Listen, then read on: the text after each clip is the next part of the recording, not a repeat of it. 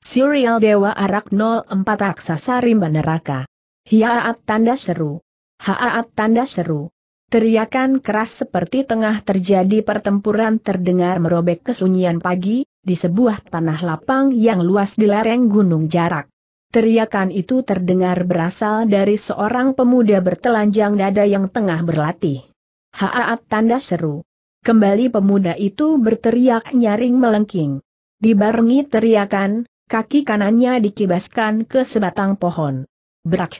Seketika itu juga pohon sebesar dua pelukan orang dewasa, tumbang. Suara bergemuruh mengiringi rubuhnya pohon itu ke tanah. Bagus sekali, sabta puji seorang kakek yang sejak tadi memperhatikan. Di sebelah kakek itu nampak seorang gadis berusia sekitar 20 tahun, wajahnya cantik manis. Rambutnya digelung ke atas. Pakaiannya berwarna jingga, sehingga cocok sekali dengan warna kulitnya. Pemuda bertelanjang dada yang dipanggil Sabta itu menghentikan latihannya. Dibalikan tubuhnya menghadap kakek yang kira-kira berusia 60 tahun, pakaiannya rompi dan celana sebatas bawah lutut tampak penuh tambalan, membungkus tubuhnya yang kurus kering. Kakek itu ternyata memang seorang pengemis.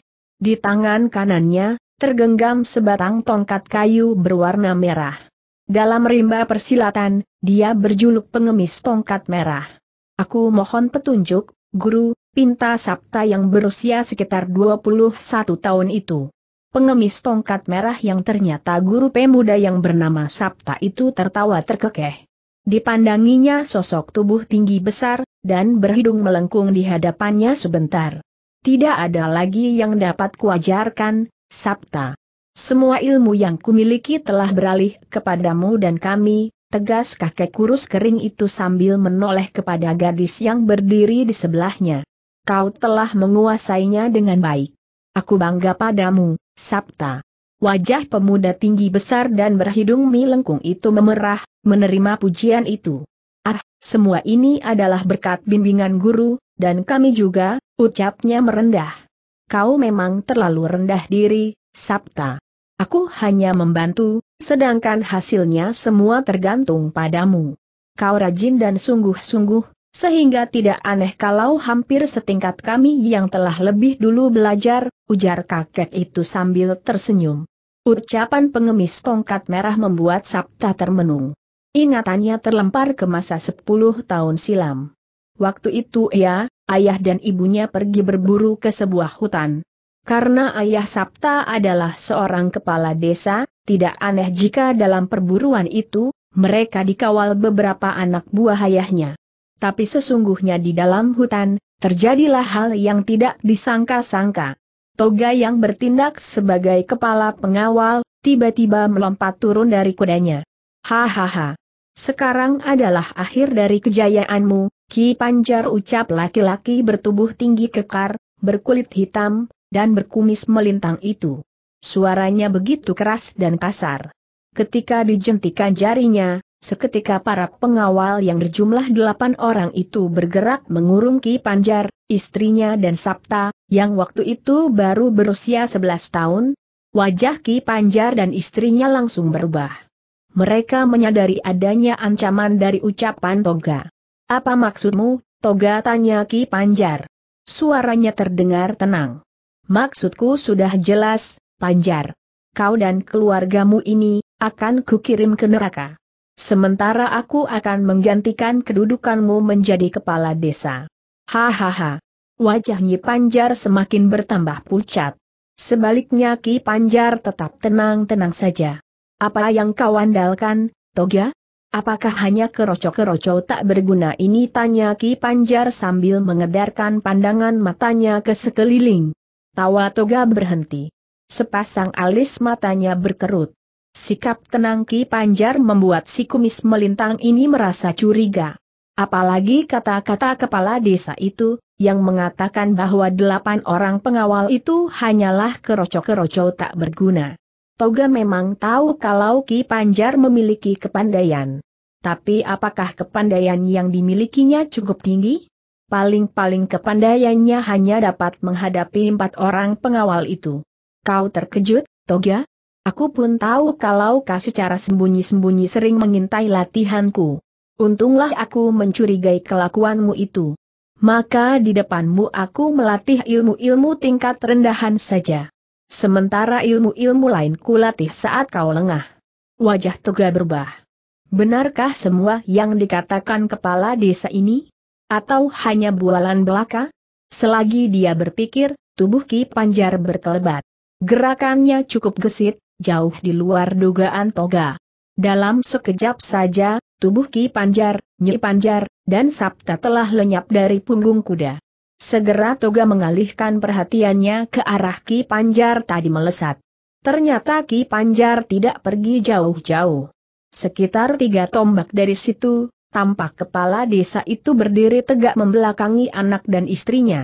Di tangannya tergenggam sebuah keris berkeluk tujuh. Seraang tanda seru teriak toga keras.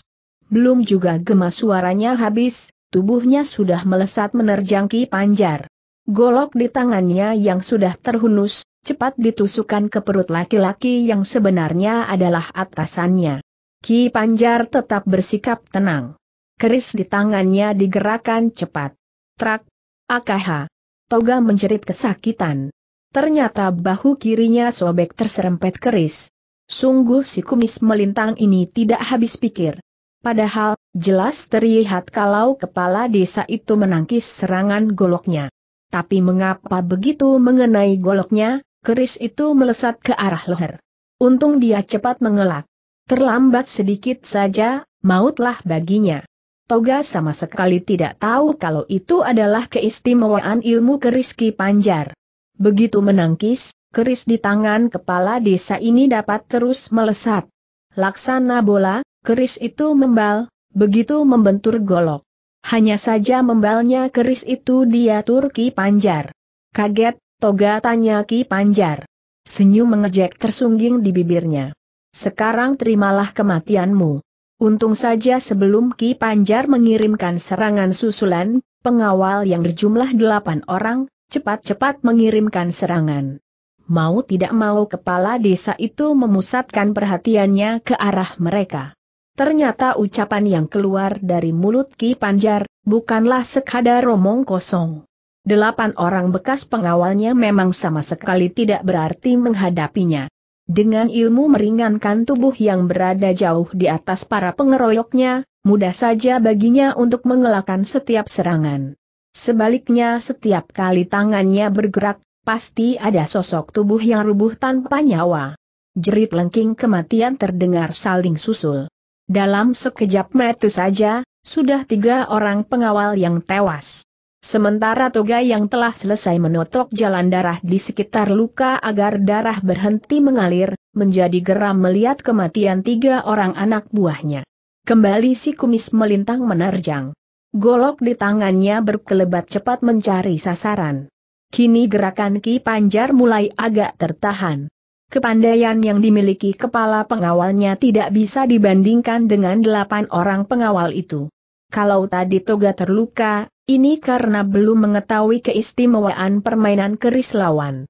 Setelah tahu, Toga bersikap hati-hati. Akibatnya beberapa saat lamanya, pertarungan itu berlangsung seru dan seimbang.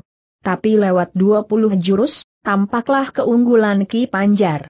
Pelahan namun pasti, kepala desa ini mulai berada di atas angin. Keris di tangannya kembali mengambil korban. Satu demi satu para pengawal berguguran. Melihat hal ini, Toga menjadi gelisah. Sudah dapat dipastikan kalau usahanya akan gagal. Ia bersama sisa tiga orang anak buahnya semakin terdesak hebat. Hahaha. Tiba-tiba saja terdengar tawa bergelak. Belum lagi suara tawa yang membuat istri dan anak Ki Panjar jatuh terduduk itu lenyap, sesosok tubuh tegap berwajah mirip seekor kera telah muncul di tempat itu. Pertarungan langsung terhenti. Ki Panjar, Toga, dan para pengawal sama-sama menoleh ke arah asal suara. Kakang Gajula teriak Toga. Wajahnya langsung berseri-seri. Bergegas dihampirinya si wajah kera, yang usianya tak lebih dari 40 tahun. Orang berwajah kera yang bernama Gajula hanya tertawa saja. Sungguh memalukan kau, Adi Toga. menghadapi orang seperti itu saja sampai mengandalkan banyak orang. Merah wajah si kumis melintang. Dia lihai sekali, Keng sergah toga keras. Gajula mendengus. Ingin kulihat sampai di mana kelihayannya. Setelah berkata demikian, dihampirinya Ki Panjar yang hanya mendengarkan percakapan itu. Orang yang bernama Gajula itu ternyata adalah kakak kepala pengawal yang bernama Toga. Gajula menatap Ki Panjar dari ujung rambut sampai ujung kaki. Tampak senyum mengejek tersungging di bibirnya. Melihat hal ini, seketika panas hati Ki Panjar. Sambil mengeluarkan suara melengking nyaring, diterjangnya lawan di hadapannya. Singgek tanda seru. Keris di tangan kepala desa itu ditusukkan ke arah leher Gajula. Cepat bukan main gerakannya. Tapi, masih lebih cepat gerakan Gajula. Begitu serangan keris lawan mendekat, dengan sebuah gerakan sederhana, ditarik kepalanya ke belakang. Tepat ketika tangan kanannya menangkap pergelangan tangan Ki Panjar yang menggenggam keris, Gajula langsung membetotnya. Tak pelak lagi, tubuh kepala desa itu tertarik ke depan. Belum lagi Ki Panjar sempat berbuat sesuatu, kembali tangan Gajula bergerak. Krak! AKH! Terdengar suara berderak keras ketika tangan itu menghantam telak dan keras bahu Ki Panjar. Kepala desa itu langsung mengeluh tertahan, karena tulang bahunya remuk seketika. Rasa sakit yang amat sangat mendera tubuhnya. Hahaha. Kembali terdengar tawa Gajula yang bergelak hanya sampai di sini sajakah orang yang kau bilang lihai itu, Toga? Atau, kau sendiri yang kurang becus? Nih, Ku berikan padamu tanda seru. Setelah berkata demikian, Gajula melemparkan tubuh Ki Panjar yang sudah setengah sadar pada Toga. Si kumis melintang tertawa terkekeh. Tangannya bergerak cepat. Bles tanda seru ah, ah tanda seru. Ki Panjar memekik tertahan ketika golok toga menghunjam perutnya hingga tembus ke punggung. Dan begitu si kumis melintang ini mencabut kembali goloknya, darah langsung muncrat keluar. Beberapa saat lamanya kepala desa itu ambruk, lalu menggelepar-gelepar di tanah. Dan kini diam tidak bergerak lagi. Kakang tanda seru terdengar jerit penuh kepiluan memecah tawa kemenangan Gajula. Seiring terdengarnya jeritan tadi, seorang wanita setengah baya berlari mendekati tubuh Ki Panjar. Wanita itu adalah istri kepala desa yang kini membujur kaku. Sementara Sabta hanya memandang mayat ayahnya dengan mati merembang berkaca-kaca. Bibirnya terlihat menggigil gemetar, tapi tidak sedikit pun terdengar isak dari mulutnya. Nyi Panjar terus menghambur. Tapi sebelum kaki perempuan setengah tua mencapai tubuh suaminya, tangan Toga bergerak. Singa. Cap. AKH tanda seru. Nyi Panjar memekik tertahan. Ternyata golok yang dilempar kepala pengawal itu menghunjam tubuh wanita itu hingga tembus ke punggung. Tanpa ampun lagi Nyi Panjar ambruk ke tanah pan saat itu pula, nyawanya telah melayang meninggalkan raganya. Ibu tanda seru. Kali ini Sabta tidak bisa lagi menahan perasaannya. Anak yang baru berusia 11 tahun ini menjerit keras, sambil berlari menubruk ibunya anak ini akan menjadi bibit penyakit di kemudian hari desis Gajula. Seketika didorongkan kedua tangannya ke depan. Wuut tanda seru. Angin keras berhembus keluar dari kedua telapak tangan laki-laki berwajah kera itu. Angin itu menghincur deras ke arah Sabta, yang tengah beriari menghampiri tubuh ibunya yang tergeletak di tanah. Tapi sebelum angin pukulan Gajula itu mengenai Sabta, Sesosok bayangan telah lebih dulu berkelebat menyambar bocah kecil itu. Berak. Sebatang pohon sebesar pelukan orang dewasa tumbang seketika, terkena angin pukulan yang salah sasaran itu. Keparat Gajula berteriak memaki. Digenjotkan kakinya mengejar ke arah berkelebatnya sosok bayangan itu. Tapi, sosok bayangan itu telah lebih dulu lenyap, ditelan kerimbunan semak-semak dan pepohonan.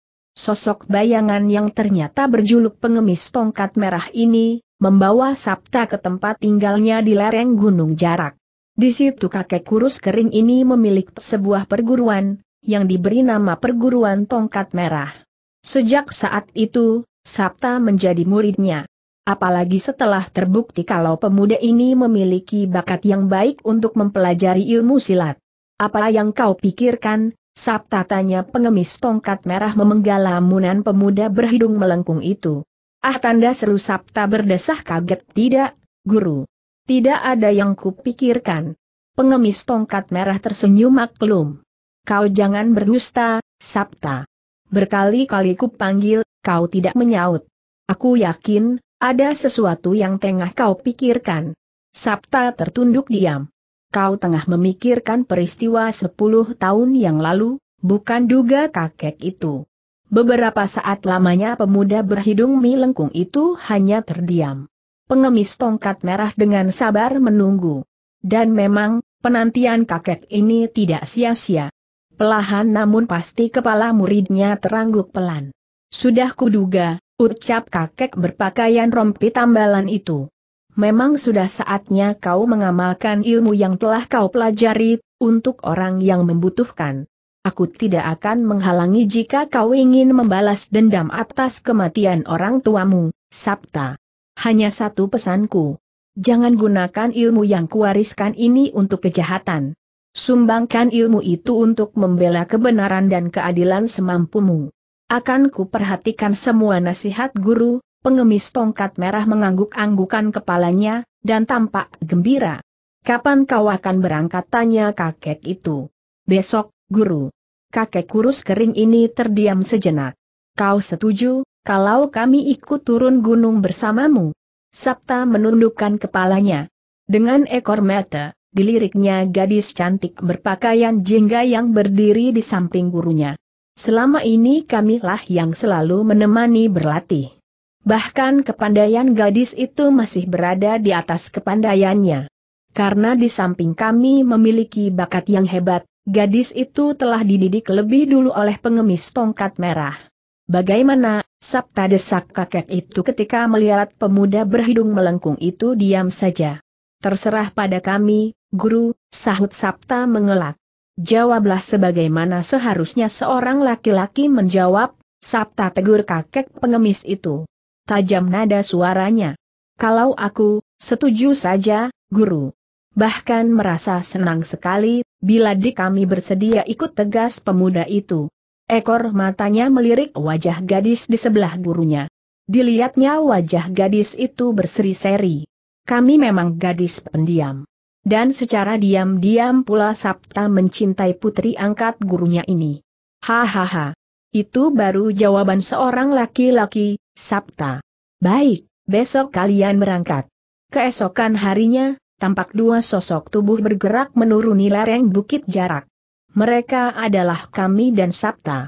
Berkat ilmu meringankan tubuh yang dimiliki, tidak sulit bagi keduanya untuk menurun lereng gunung itu. Brak! Pintu sebuah rumah kecil yang berdinding bilik, hancur berantakan ketika sebuah kaki kokoh menghantamnya. Diiringi suara hiruk pikuk, kepingan-kepingan pintu itu jatuh berderai di tantai. Seorang laki-laki berusia sekitar 55 tahun, yang tengah terbaring di depan bambu langsung terlonjak. Wajahnya kian memucat ketika melihat dua sosok tubuh yang amat dikenalnya berdiri di ambang pintu. Belum juga rasa kagetnya hilang, sosok tubuh tinggi besar dan berkepala botak yang tadi menendang pintu, berjalan masuk ke dalam. Langkahnya sengaja dibuat lebar-lebar, menampilkan kepongahannya. Tua bangka tidak tahu diuntung geram si kepala botak sambil melayangkan kakinya kembali menendang. Krak, brak, ak ah, ah tanda seru. Si kakek memekik kesakitan. Kaki salah satu dipan bambu itu langsung patah terkena tendangan. Seketika itu juga, dipan bambu itu pun rubuh bersama kakek itu. Si kepala botak membungkukan badan. Dan di saat tegak kembali, tangannya telah mencengkeram leher baju kakek itu dan mengangkatnya ke atas. Hes tanda seru. Si kakek mengeluh tertahan, dan jalan napasnya terasa sesak. Karena tubuh si kakek jauh lebih kecil daripada tubuh si kepala botak, maka tubuhnya jadi seperti menggantung. Ampun. Maafkan aku, dan sagar. Aku tidak bisa bekerja. Aku sedang sakit, ampunkan aku, ucap kakek itu tersendat-sendat. Hiu, Ucapan si kakek terhenti ketika lutut si kepala botak yang bernama Sagar menyodok perutnya. Wajah kakek itu seketika memerah, dan kedua bola matanya membeliak lebar. Sodokan pada perutnya membuat napasnya sesak seketika. Enak saja kau bicara. Ingat, Ki Marta. Kau sudah terima upahnya. Mau sakit, kek. Mau mati, kek, aku tidak peduli. Yang penting, kau harus bekerja seperti biasanya. Mengerti? Ki Marta menelan ludah, lalu menganggukkan kepala berulang-ulang. Bagus. Setelah berkata demikian, tubuh kakek itu diturunkan. Tapi karena keadaan kakek itu yang memang sedang sakit, apalagi baru saja mendapat sodokan lutut yang amat keras, begitu diturunkan Ki Marta langsung sempoyongan dan jatuh berdebuk di lantai. Melihat hal itu, Sagar menggeram. Bangun, Ki Marta. Cepat tanda seru. Kita pergi sekarang, sebelum kesabaranku hilang ancam Sagar tak sabar. Tubuh Ki Marta menggigil. Kedua tangannya bergetar keras, ketika mencoba bertumpu pada kedua tangannya untuk bangkit. Tapi betapapun berusaha, kondisinya yang tidak memungkinkan menggagalkan usahanya. Melihat hal ini Sagar menjadi tidak sabar. Untuk yang kesekian kalinya, kakinya kembali bergerak. Buk! Dengan telak tendangan Sagar menghantam perut Kimorte. Untung saja si kepala botak ini tidak mengerahkan seluruh tenaga dalamnya. Kalau tidak, tentu kakek yang sial itu tewas. Tapi meskipun demikian, tak urung tubuh Ki Marte, terlempar dan terguling-guling. Rupanya kau memang sudah bosan hidup, tua bangka. Dasar tidak tahu diuntung tapi jangan harap akan mati dengan enak. Kau akan kusiksa dulu sebelum kubunuh. Setelah berkata demikian, Sagar bergerak menyusul tubuh kakek itu. Hup! Dengan kaki, dicungkilnya tubuh terkapar yang berusaha bangkit. Tubuh tua itu melayang ke atas. Di saat itu, sapuan kaki laki-laki berkepala botak menyambutnya. Buk tanda seru. Kini pinggul Ki Martu yang mendapat giliran cukup keras, sehingga membuat tubuh yang sedang berada di udara itu meluruk keluar. Bruk! Tubuh kakek itu jatuh deras mencium tanah. Keras bukan main. Tapi Kimar terupanya termasuk orang yang keras hati. Buktinya ia kembali berusaha bangkit. Darah segar menetes keluar dari sela-sela bibirnya ketika dirinya memaksakan untuk bangkit. Hes tanda seru. Kimar memekik tersendat dirasakan adanya sebuah kaki yang menekan punggungnya. Dengan susah payah laki-laki tua itu menolakkan kepalanya untuk mengetahui siapa pemilik kaki itu. Hahaha.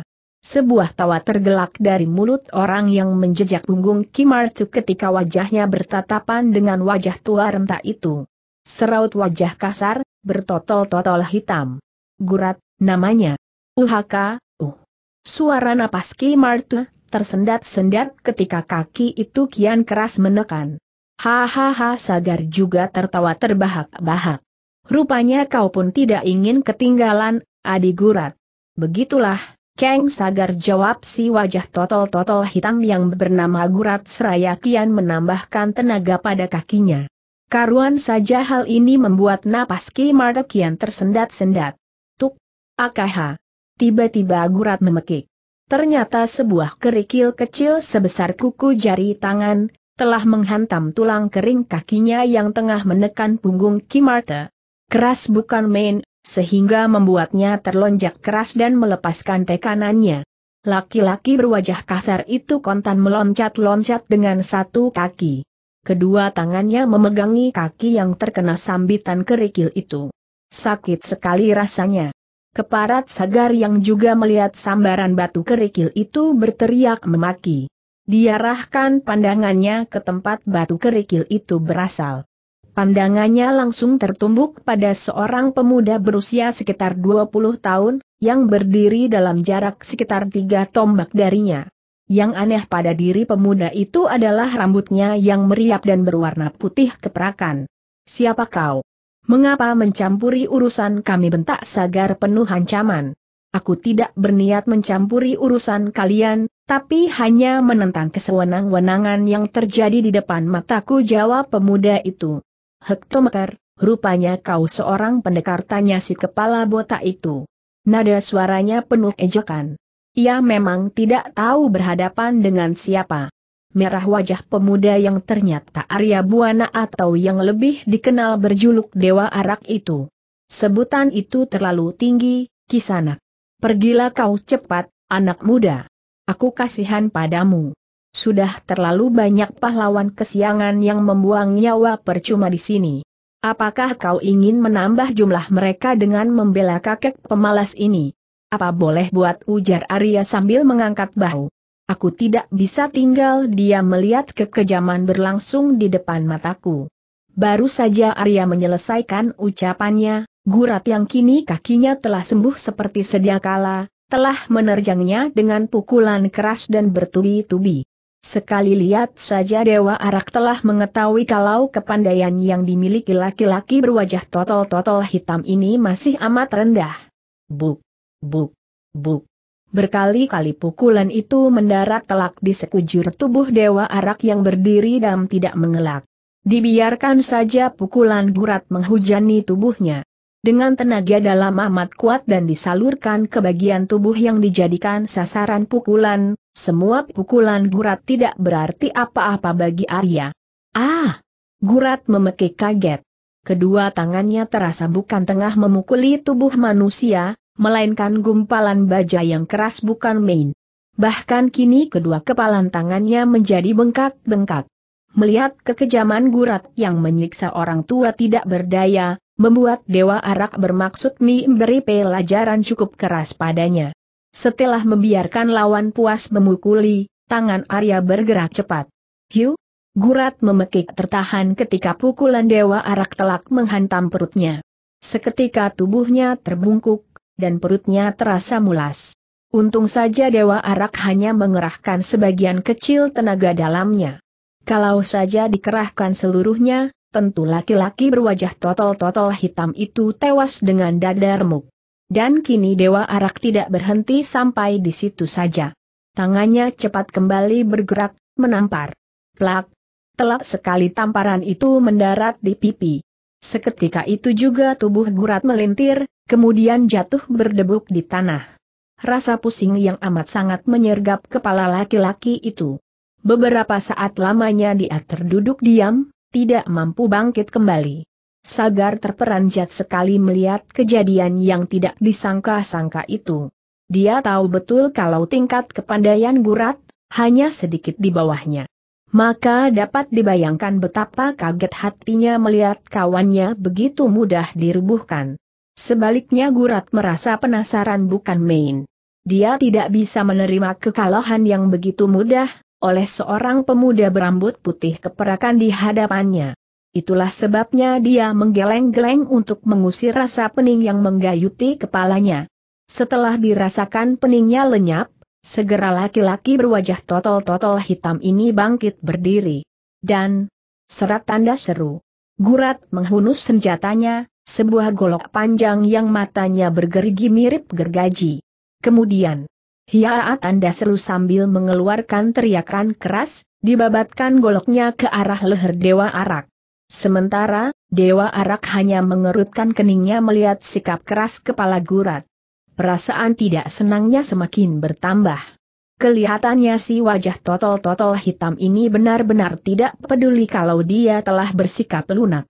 Maka Arya memutuskan untuk memberi pelajaran yang lebih keras lagi. Dewa Arak benar-benar membiarkan saja babatan golok itu. Dan ketika serangan itu dekat, tangan kirinya bergerak ke arah sambaran golok itu. Cep!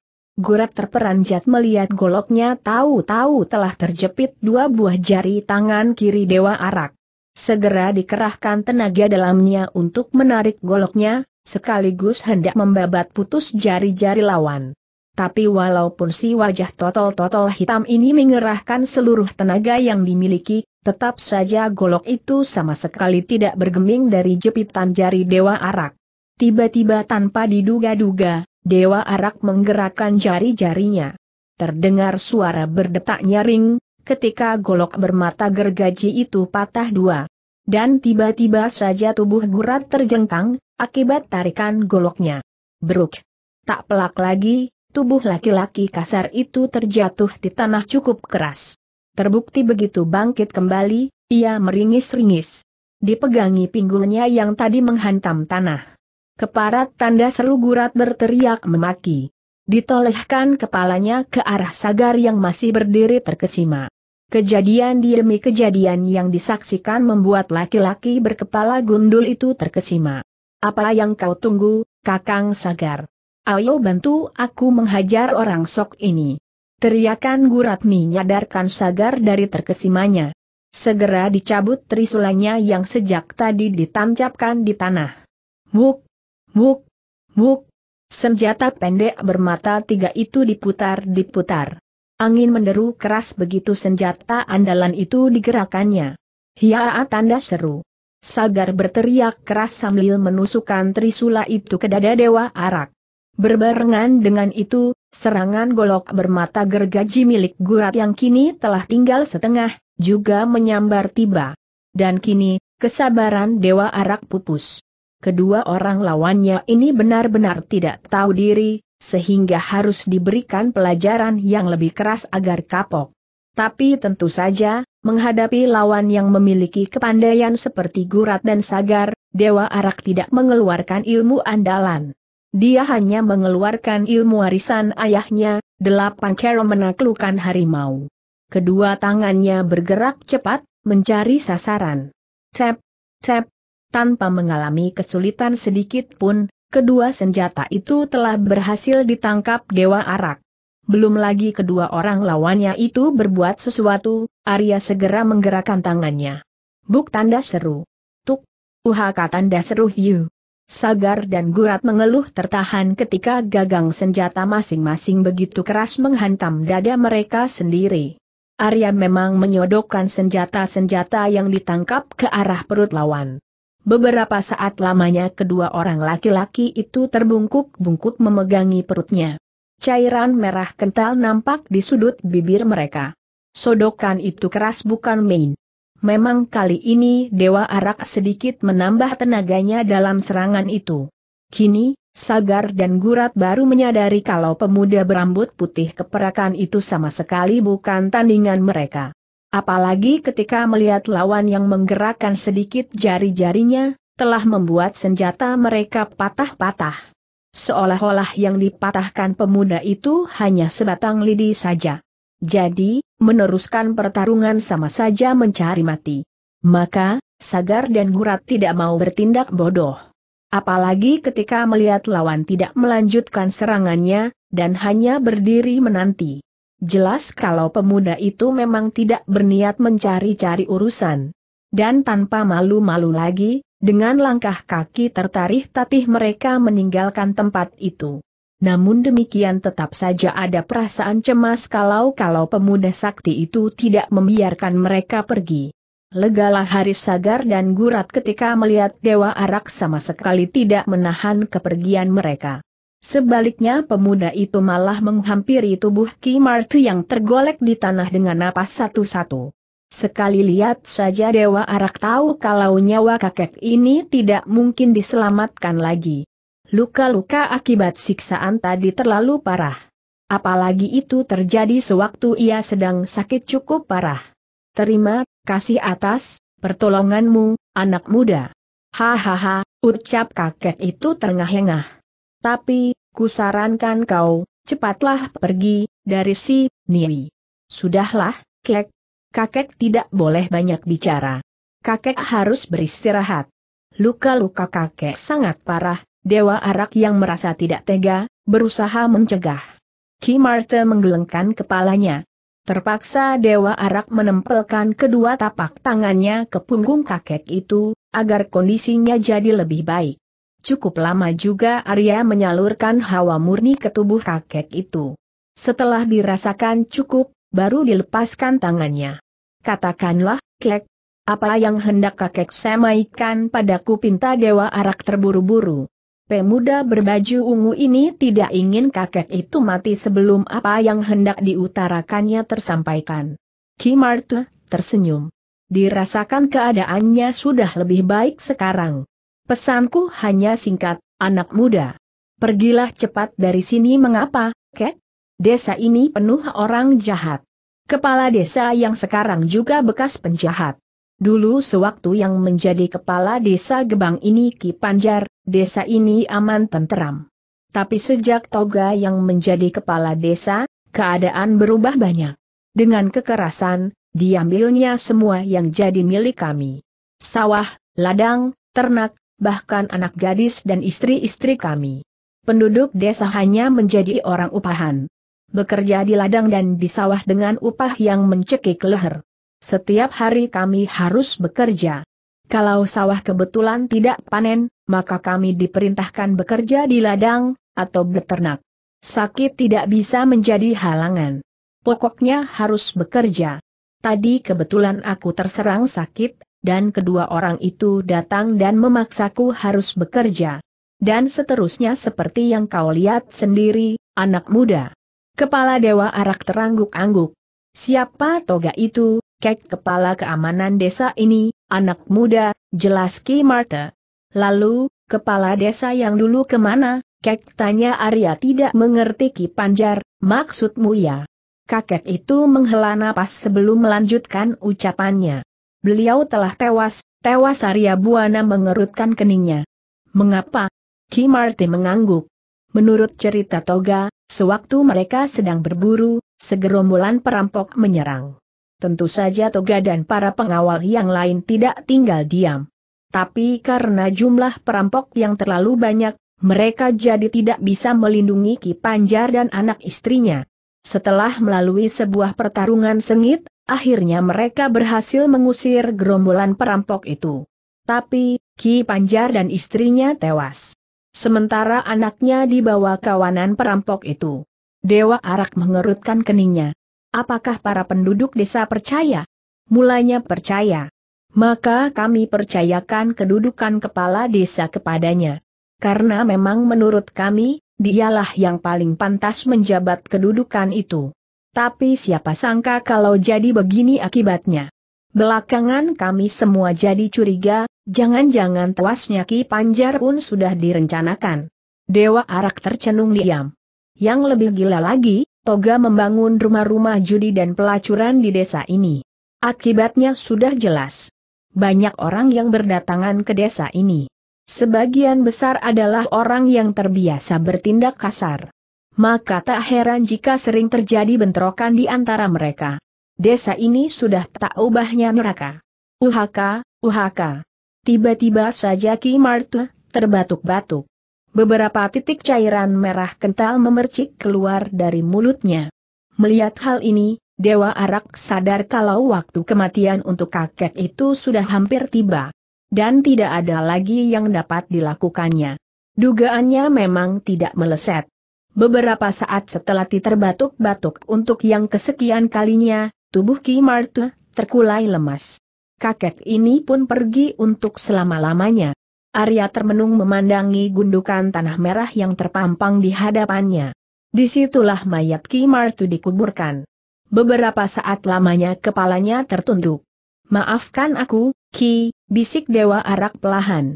Aku tidak dapat melaksanakan pesanmu untuk pergi dari sini. Tidak bisa ku tinggalkan desa ini begitu saja.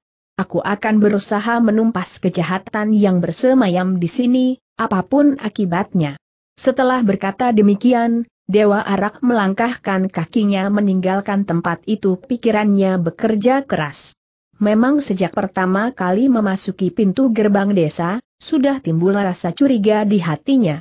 Desa yang kini diketahui bernama Desa Gebang ini, berbeda dengan desa-desa yang biasa disinggahinya.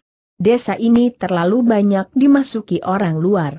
Dan jika ditelik dari gelagatnya, mereka adalah orang-orang yang terbiasa bertindak kasar. Kini kecurigaannya ternyata beralasan. Oleh karena itu, Dewa Arak memutuskan untuk tinggal di desa ini beberapa waktu lamanya. Barangkali saja tenaganya bisa diperlukan di sini. Brak. Sebuah meja bundar besar dari batu marmer, kontan retak ketika tangan seorang lelaki tinggi besar berkumis melintang, menghantamnya. Bodoh. Dungu kalian tanda seru teriaknya keras.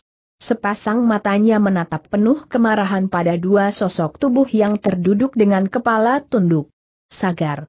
Gurat. Ceritakan sejelas-jelasnya semua yang terjadi. Memalukan. Kalian pulang seperti seekor anjing dipukul ekornya. Dua sosok tubuh yang tengah mendapat pelampiasan kemarahan itu ternyata Sagar dan Gurat. Dan kini mereka baru berani mengangkat kepalanya. Kemudian dengan jelas, Sagar menceritakan kejadian yang menimpa mereka. Seorang pemuda, Kira-kira berapa usianya tanya si kumis melintang yang ternyata toga. Suaranya terdengar mulai melunak. Terbayang kembali di benaknya, seorang anak berusia sekitar 11 tahun yang lolos dari tangan mautnya beberapa tahun yang lalu. Bukan tidak mungkin kalau pemuda yang mengalahkan Gurat adalah anak itu, anak Ki Panjar. Gurat mengerutkan alisnya. Sejenak ia mengingat-ingat sekitar 20 tahun, Tuan, Toga menolehkan kepalanya ke belakang, menatap sosok tubuh tegap berwajah mirip kera, yang tengah duduk di sebuah kursi. Keningnya berkernyit. Apakah bukan anak Ki Panjar? Kang Gajulak tanya Toga mengemukakan dugaan yang sejak tadi berkecamuk di benaknya. Agak heran juga hatinya melihat sikap kakaknya kali ini. Laki-laki yang wajahnya mirip kera itu membalas tatapan Toga. Beberapa saat lamanya sepasang matanya terpaku pada wajah si kumis melintang itu, lalu pelahan kepalanya menggeleng. Aku yakin bukan, sahut Gajula dengan suara mengembang. Lalu siapa tanya Toga putus asa. Lebih jelasnya akan kita ketahui nanti. Tapi ciri-ciri pemuda yang dikemukakan Sagar, mengingatkan aku pada seorang tokoh muda yang namanya belum lama ini menggemparkan dunia persilatan. Toga mengerutkan alisnya. Siapa yang kau maksud, Ken? Gajula sama sekali tidak mempedulikan pertanyaan itu, tapi sebaliknya malah dialihkan pandangannya pada Sagar. Ada satu ciri yang mungkin belum kau ceritakan, Sagar, tegas laki-laki berwajah kera itu. Sagar mengerutkan alisnya, mencoba mengingat-ingat. Tapi sampai lelah mengingat, tetap saja tidak menemukan lagi ciri yang lainnya. Bagaimana dengan kau, gurat tanya Gajula pada si wajah totol-totol hitam. Tapi setelah sekian lama menunggu, tidak ada jawaban yang keluar dari mulutnya. Gurat berusaha keras mengerahkan segenap ingatannya, tapi akhirnya menggelengkan kepalanya juga. Hahaha tanda seru Gajula menghela napas. Mungkin aku salah. Tapi coba kalian ingat-ingat, apakah pemuda itu membawa guci arak? Guci serentak sagar dan gurat berseru kaget. Berbareng keduanya saling pandang, dan kontan teringat sesuatu. Memang, di punggung pemuda berambut putih keperakan itu tergantung sebuah guci arak. Ya, guci arak tegas Gajula. Bagaimana? Ada atau tidak? Sagar menganggukkan kepalanya. Katakan yang jelas. Atau kau ingin menjadi orang bisu selamanya sentak Gajula dingin dan datar suaranya. Wajah Sagar Kontan memucat. Tenggorokannya terasa kering. Dia tahu betul siapa Gajula itu. Tokoh ini adalah kakak kandung Toga. Dulu, seperti yang didengar dari cerita Toga, Gajula tidak selihai sekarang. Tapi, kini tahu-tahu muncul dan memiliki kepandaian luar biasa. Tapi bukan karena kepandaiannya yang membuat Sagar gentar, melainkan kekejamannya. Si wajah kera ini memiliki sifat yang luar biasa kejam. Benar, Ken? Jawab Gurat dengan suara gemetar. Betul dugaanku teriak Gajula keras. Siapa orang itu? Ken tanya Toga penasaran. Pernah dengar julukan Dewa Arak kata Gajula balik bertanya. Toga mengerutkan alisnya. Sedikit Gajula menghela napas dalam-dalam. Kau ketinggalan berita, Toga. Julukan Dewa Arak terkenal sekali. Banyak tokoh tangguh yang telah roboh di tangannya. Aku ragu, apakah mampu menandinginya. Dahi Toga mengernyit. Agak heran hatinya melihat sikap Gajula yang tidak seperti biasanya. Sampai di manakah kelihayan tokoh yang berjuluk Dewa Arak itu? Batin Toga terus menduga-duga. Mengapa belum apa-apa sudah khawatir? Kang tegur Toga dengan nada halus. Apakah Kakang sudah pernah bertarung dengannya? Gajula menggelengkan kepalanya. Melihat dia bertarung? Lagi-lagi si wajah keram menggeleng. Lalu, mengapa khawatir, Ken? berita yang tersebar itu belum tentu benar. Andai kata benar, Dewa Arak mampu mengungguli Kakang, tapi mustahil akan mampu menghadapi kita berdua.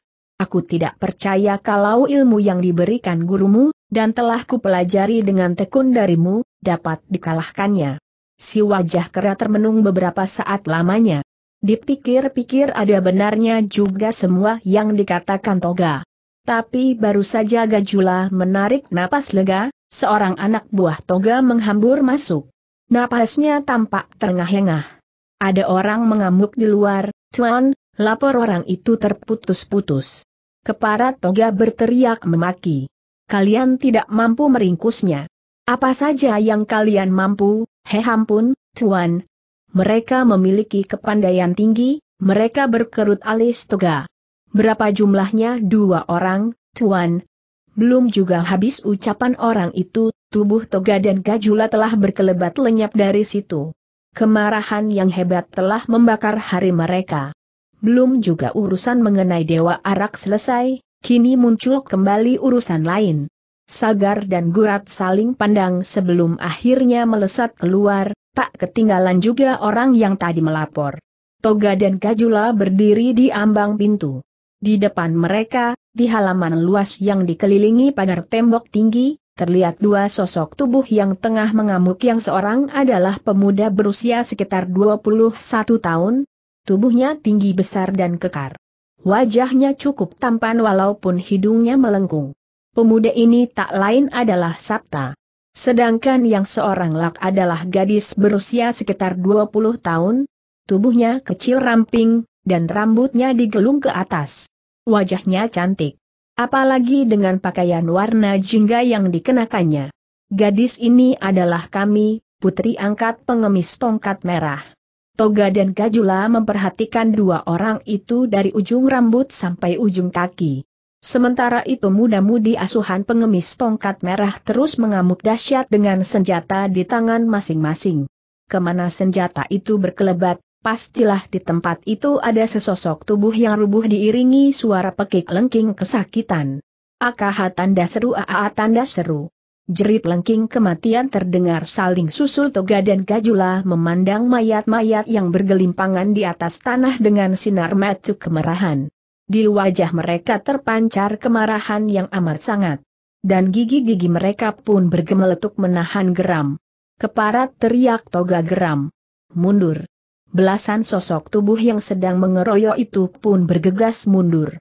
Kedua murid pengemis tongkat merah itu membiarkan saja. Terlebih sabta. Keroco-keroco itu memang bukanlah tujuannya.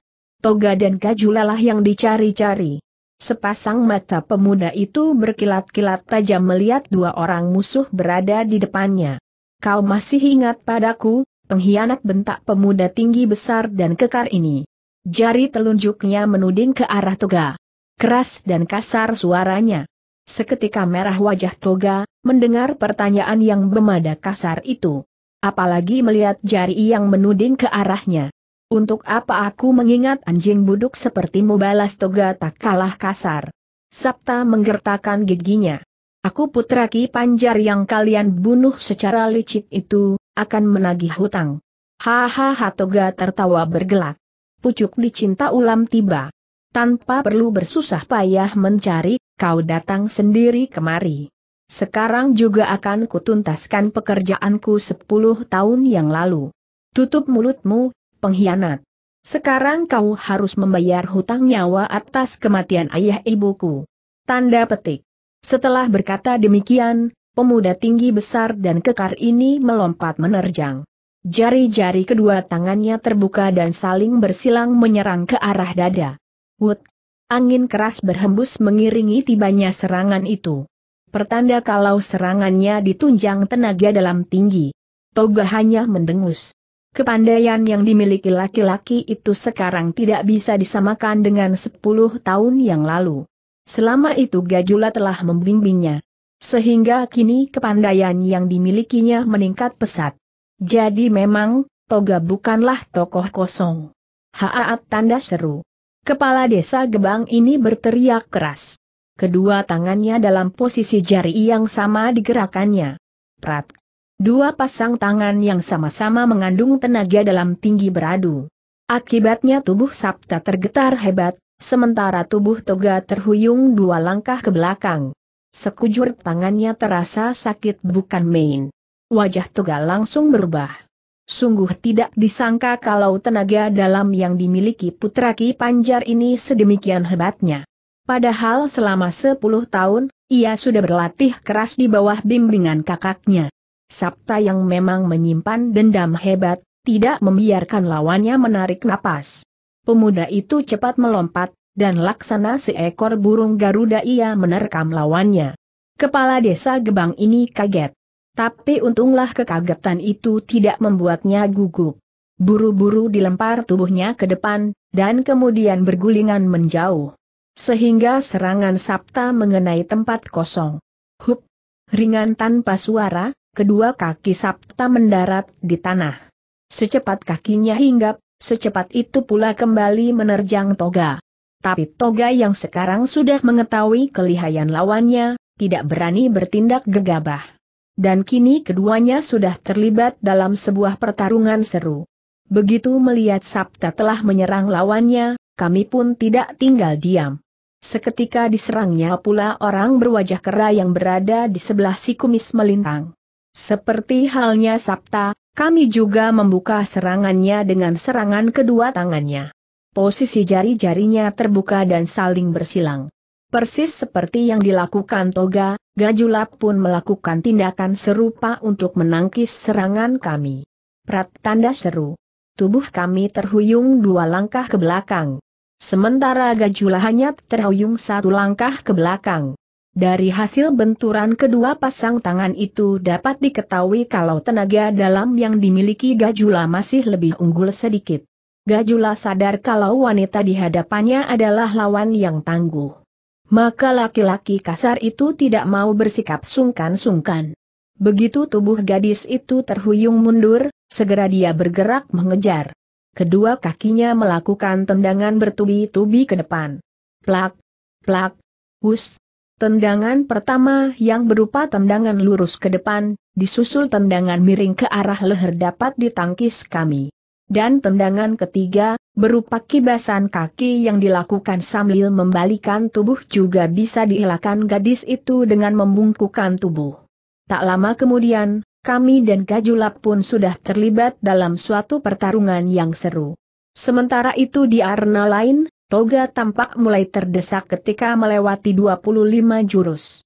Memang bila dibanding Sabta, ia masih kalah segala-galanya. Baik dalam hal tenaga dalam maupun dalam hal ilmu meringankan tubuh. Bahkan menjelang jurus ke-30, Toga hanya mampu bertahan dan mengelak. Dia hanya sesekali balas menyerang. Itu pun hanya untuk mengurangi desakan yang menderu-deru dari pemuda berhidung melengkung ini. Toga menggeram disadari kalau lama-kelamaan putrinya akan roboh di tangan pemuda ini. Semakin lama keadaannya kian terjepit. Kini kepala desa Gebang itu benar-benar hanya mampu bermain mundur. Berbeda dengan Sabta, keadaan yang dialami kami malah sebaliknya. Putri angkat pengemis tongkat merah ini kewalahan menghadapi hujan serangan Gajula. Hanya saja keadaannya tidak separah Toga. Gadis itu masih mampu membalas serangan si wajah kera dengan serangannya yang tak kalah dahsyat. Keringat dingin sebesar-besar bija jagung bermunculan di sekujur wajah Toga. Semakin lama keadaannya semakin terjepit. Bahkan sudah beberapa kali tubuhnya terpontang-panting. Pada jurus ke-30, sebuah sapuan kaki Sabta membuat kepala desa ini terpelanting, dan jatuh telentang. Haaat! Sambil berteriak melengking nyaring, putra Ki Panjar ini menerkam tubuh Toga. Metus si kumis melintang terbelalak lebar. Tak ada kesempatan lagi baginya untuk mengelakkan serangan itu atau menangkisnya, karena begitu tiba-tiba datangnya. Hahaha. Tiba-tiba terdengar suara tawa bergelak, dan belum lagi habis gemanya, di tempat itu telah berdiri sesosok tubuh tinggi besar sekitar satu setengah kali manusia sewajarnya. Rambutnya panjang, lebat, dan terurai. Wajahnya penuh cambang lebat. Sekujur badan bagian depannya nampak dipenuhi bulu, karena si raksasa memang bertelanjang dada. Dia hanya mengenakan celana berwarna hitam sebatas lutut. Di bagian lehernya terdapat sebuah kalung yang rantainya tersusun dari rangkaian tulang jari tangan manusia. Sedangkan batu kalung itu dibuat dari kepala manusia dewasa. Secepat berada di situ, secepat itu pula si raksasa menggerak-gerakan pelahan tangannya. Tapi akibatnya hebat sekali. Tubuh Sabta terlempar jauh ke belakang bagai dilanda angin ribut. Ketika berada di situ, raksasa tersebut menggerakkan tangannya pelahan saja ke arah Sabta. Tapi akibatnya hebat sekali. Tubuh Sabta seperti dipukul oleh godam yang sangat kuat dan terlempar jauh ke belakang bagai dilanda angin ribut. Brak! Lontaran pada tubuh pemuda itu terhenti ketika menabrak sebatang pohon hingga tumbang. Murid pengemis tongkat merah ini berusaha bangkit. Kedua tangannya yang dijadikan tempat bertumpu itu terlihat menggigil keras. Ada cairan merah kental yang mengalir dari sudut bibirnya. Kelihatannya Sabta terluka dalam. Hahaha. Kembali si raksasa tertawa tergelak. Sabta menatapnya dengan hati ngeri. Disadari kalau dirinya bukanlah tandingan manusia setengah raksasa ini. Hatinya mendadak berdebar tegang ketika teringat penuturan gurunya tentang seorang tokoh yang memiliki ciri-ciri seperti itu. Diperhatikannya si raksasa yang masih saja tertawa berkakakan sekali lagi. Pada kedua pergelangan tangan dan kakinya tampak melingkar gelang yang terbuat dari tulang-tulang jari tangan manusia. Raksasa rimba neraka, desis Sabta pengemis tongkat merah memang pernah menceritakan tentang tokoh sesat yang kejam, dan gemar makan daging manusia. Tapi menurut cerita gurunya, raksasa itu tinggal di sebuah hutan yang amat jauh letaknya dari desa Gebang ini. Sebuah hutan yang penuh bahaya maut. Penuh binatang besar, tanaman beracun, lumpur hidup, dan segala macam bahaya maut lainnya. Sehingga, hutan itu dinamai orang rimba neraka. GRRRH tanda serusi, raksasa menggeram. Tampak dua buah taring pada bagian sudut-sudut mulutnya. Dagingmu pas empuk sekali, anak muda. Sambil berkata demikian, si raksasa yang berjuluk raksasa rimba neraka ini melangkah lambat-lambat menghampiri Sabta. Setiap langkahnya menimbulkan getaran keras di tanah. Tubuh pemuda tinggi besar ini menggigil keras. Memang diakui kalau tidak takut mati. Tapi tak urung menghadapi kematian yang begitu mengerikan, dimakan hidup-hidup, rasa takutnya pun muncul. Kakang Hiaa tanda seru. Kami menjerit melihat bahaya maut yang mengancam Sabta. Cepat-cepat dilentingkan tubuhnya menghadang raksasa rimba neraka. Sadar akan kelihayan lawan, sambil melompat gadis itu segera mencabut pedangnya. Singgah tanda seru. Dengan mengerahkan sepenuh tenaganya, pedang yang sudah terhunus itu ditusukkan ke leher si raksasa. Jangan, kami. Cepat kau pergi selamatkan diri Sabta yang tahu pasti kalau gadis itu bukan tandingan raksasa rimba neraka yang sakti, berteriak memperingatkan. Tapi kami adalah gadis yang keras hari. Bagainya mati bukan suatu hal yang perlu ditakuti. Maka peringatan Sabta tidak digubrisnya. Hahaha. Raksasa rimba neraka kembali tertawa bergelak. Diulurkan tangannya ketika serangan pedang kami tiba. Krek. Tanpa mengalami kesulitan apa-apa, pedang itu sudah dicengkeramnya. Akah tanda seru. Kami menjerit kaget. Sekuat tenaga gadis itu membetot pedang yang tercengkeram tangan raksasa itu. Tapi betapapun segenap tenaganya telah dikerahkan, tetap saja pedangnya tak mampu dilepaskan dari cengkeraman tangan itu. Hahaha. Raksasa rimba neraka hanya tertawa-tawa saja. Tak nampak ada tanda-tanda kalau dia mengerahkan tenaganya. Sementara di hadapannya, kami terus berusaha sampai napasnya terengah-engah. Tidak kusangka, kalau malam ini aku mendapat santapan yang istimewa. Seorang perawan cantik. Hahaha. Wajah Gajula berseri-seri ketika tadi melihat kedatangan si raksasa rimba neraka. Karena memang kakek yang memiliki penampilan mengerikan itu adalah gurunya. Namun demikian, di samping rasa gembiranya, timbul pula rasa kecewanya. Kedatangan gurunya berarti membuat laki-laki kasar itu kehilangan kesempatan untuk menikmati tubuh montok kami. Gajula tahu persis manusia macam apa gurunya. Di samping gemar makan daging manusia, kakek ini pun gemar terhadap wanita. AKH tanda seru. Kami memekik tertahan ketika tahu-tahu tubuhnya terlempar ke depan. Memang raksasa rimba neraka telah balas membetot. Dan karena tenaga yang dimilikinya kalah jauh, gadis itu tidak kuasa menahan. Hiaa tanda seru. Putri pengemis tongkat merah terpaksa melepaskan pedangnya. Dan dengan meminjam tenaga betotan, gadis itu bersalto di udara. Raksasa rimba neraka mendengus. Secepat kilat dijulurkan tangan kanannya ke atas. Tap. AKH tanda seru. Kami memekik tertahan ketika pergelangan kakinya tertangkap. Dan sekali si raksasa itu menarik tangannya kembali, tubuh gadis itu pun terbawa turun. Hup! Tubuh molek kami kini jatuh tepat di pelukan raksasa rimba neraka. Dan sebelum gadis itu sempat berbuat sesuatu, tangan si raksasa telah lebih dulu bergerak menotok. Tuk! Oh! Sekujur tubuh kami lumpuh seketika.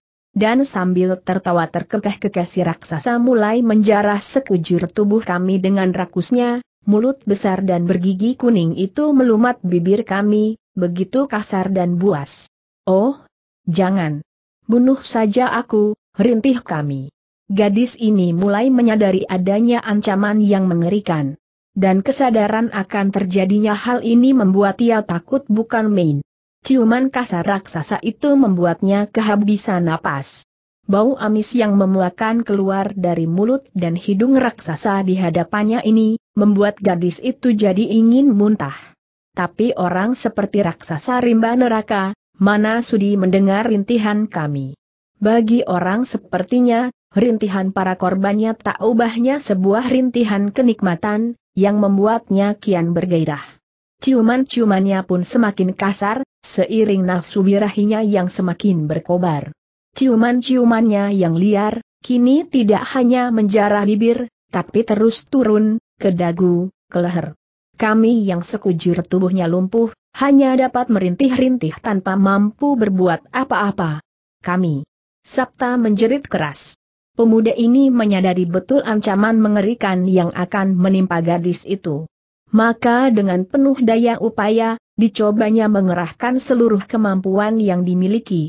Sekujur tubuhnya nampak menggigil keras dalam usaha berjuang untuk bangkit. GRRRH tanda seru.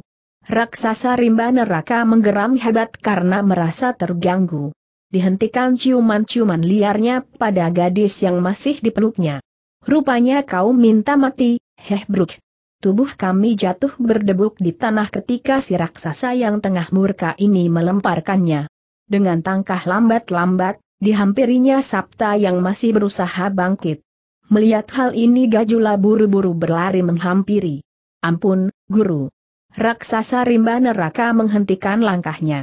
Ada apa, Gajula? Apa kau pun ingin kubunuh? Pucat wajah Gajula. Si wajah kera ini tahu pasti watak aneh gurunya. Bila kemarahannya timbul, siapa pun tanpa kecuali akan dibunuhnya. Tentu saja tidak, guru, Ucap Gajula terputus-putus. Lalu, kenapa kau menghalangiku membunuh bocah sial ini desak raksasa itu, masih keras dan kasar nada suaranya. Maafkan aku, guru. Bocah ini adalah orang yang mencoba memberontak terhadap Aditoga yang merupakan murid guru juga, karena aku telah mengajarkannya. Aku sudah tahu dari jurus-jurus yang dimainkannya. Maka karena itulah aku menolongnya selak raksasa rimba neraka. Gajula membasahi tenggorokannya yang dirasakan kering.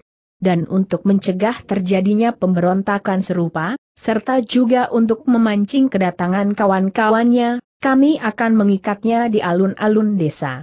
Bahkan kami juga akan menyiksanya tanda seru. Harap guru maklum. Dahi si raksasa berkerut dalam, dan rupanya tengah berpikir. Tak lama kemudian baru keluar ucapannya. Terserah padamu. Toh, aku sudah punya santapan yang luar biasa lezat untuk nanti malam. Setelah berkata demikian, raksasa rimba neraka melangkahkan kakinya kembali. Dijumputnya kembali tubuh kami yang tergolek di tanah tanpa ada yang berani menyentuhnya. Hahaha tanda seru. Gajula menghela napas lega. Untunglah kali ini gurunya bersedia mengerti. Padahal hatinya tadi sudah khawatir kalau-kalau raksasa rimba neraka itu akan marah. Mari istirahat di dalam, guru, ajak Toga sambil mendahului masuk ke dalam. Kini yakinlah kepala desa ini bahwa raksasa ini adalah guru Gajula. Walau sebelumnya sudah diduga, ketika melihat ciri-cirinya, tapi Toga masih ragu. Seret si keparat itu, dan ikat di alun-alun perintah Toga pada anak buahnya. Baik, Chuan sahut mereka mengiyakan. Dewa Arak mengerutkan keningnya. Agak heran hatinya melihat di depannya banyak orang berkumpul, merubung sesuatu. Sepertinya ada sesuatu yang tengah mereka saksikan. Rasa penasaran membuat Arya mempercepat langkah kakinya. Pendengarannya yang tajam, menangkap adanya ledakan lidah cambuk ada apa gerangan di sana? Batin Dewa Arak terus bertanya-tanya. Semakin mendekati tempat kerumunan orang-orang itu, suara yang didengarnya pun semakin jelas. Cetar, cetar, kembali terdengar ledakan cambuk itu. Dan kali ini karena jaraknya sudah dekat, di samping suara ledakan cambuk juga terdengar keluhan tertahan. Keluhan kesakitan. Jiwa kependekaran dalam diri Arya Buana pun bangkit. Tanpa melihat pun sudah dapat menduga kejadian yang terjadi dalam kerumunan orang banyak itu. Apalagi kalau bukan tindak kesewenang-wenangan. Tanpa mempedulikan suara-suara bernada menggerutu, Dewa Arak menyeruakan tubuhnya. Disibahkan kerumunan orang-orang, lalu dia masuk terus ke dalam. Sesampainya di bagian terdepan, wajah Dewa Arak memerah. Kemarahan menjalari hatinya. Tampak seorang pemuda berwajah tampan dan berhidung melengkung tengah dihukum cambuk. Tubuh pemuda itu terikat erat di sebuah tonggak tegak lurus. Sinar matahari yang cukup terik memanggang kulit dadanya yang tidak tertutup pakaian. Sementara di sebelahnya berdiri seseorang bertubuh tinggi besar dan berkepala botak, tengah menggenggam cambuk. Dewa Arak yang pantang melihat kekejaman berlangsung di depan matanya, menjadi geram. Sekali lihat saja pemuda berambut putih keperakan ini tahu kalau pemuda berhidung melengkung itu telah menderita luka yang cukup parah apalagi ditambah lecutan-lecutan cambuk yang terus-menerus menyengatnya. Sekujur tubuhnya nampak dipenuhi garis hitam memanjang. Sungguh tega hati kalian, menontoni orang disiksa, desis Dewa Arak tajam pada salah seorang di sebelahnya. Orang yang mendapat teguran itu menoleh. Ditatapnya Arya lekat-lekat. Rupanya kau bukan penduduk sini, Kisana. Perlu kau ketahui, kami pun sebenarnya tidak suka melihat penyiksaan ini. Batin kami menjerit. Tapi apa daya? Kami hanya orang lemah. Mereka memaksa untuk menonton penyiksaan ini. Kalau ada yang membangkang, pasti akan bernasib serupa, jelas orang itu dengan suara berbisik. Ah, Dewa Arak mendesah pelan. Seketika timbul perasaan malunya karena telah melempar tuduhan jelek pada orang-orang yang selama ini hidup dalam keadaan jiwa tertekan. Maafkan saya, Ki. Tidak usah meminta maaf. Aku memaklumi perasaan yang bergayut di hatimu. Pesanku, janganlah ikut campur, Kisanak. Mereka berjumlah banyak, dan rata-rata memiliki kepandaian tinggi. Dewa Arak terlongong ternyuh hatinya mendengar penuturan orang itu. Dalam penderitaan, dia tidak ingin membuat orang lain ikut menderita. Nasihat yang keluar dari mulut orang itu sama persis dengan nasihat Kimorte. Tapi tentu saja Dewa Arak tidak mau menuruti nasihat itu. Sejak belajar ilmu silat, dia telah bertekad mengamalkan ilmu yang dimiliki untuk menghancurkan keangkara murkaan di mana pun. Sekalipun untuk itu harus dibayar dengan nyawanya. Cetar, kembali untuk yang kesekian kalinya ujung cambuk itu menyengat kulit Sabta. Pemuda itu meringis. Tapi tidak terdengar suara keluhan yang keluar dari mulutnya. Dan kini Dewa Arak tidak bisa bersabar lagi.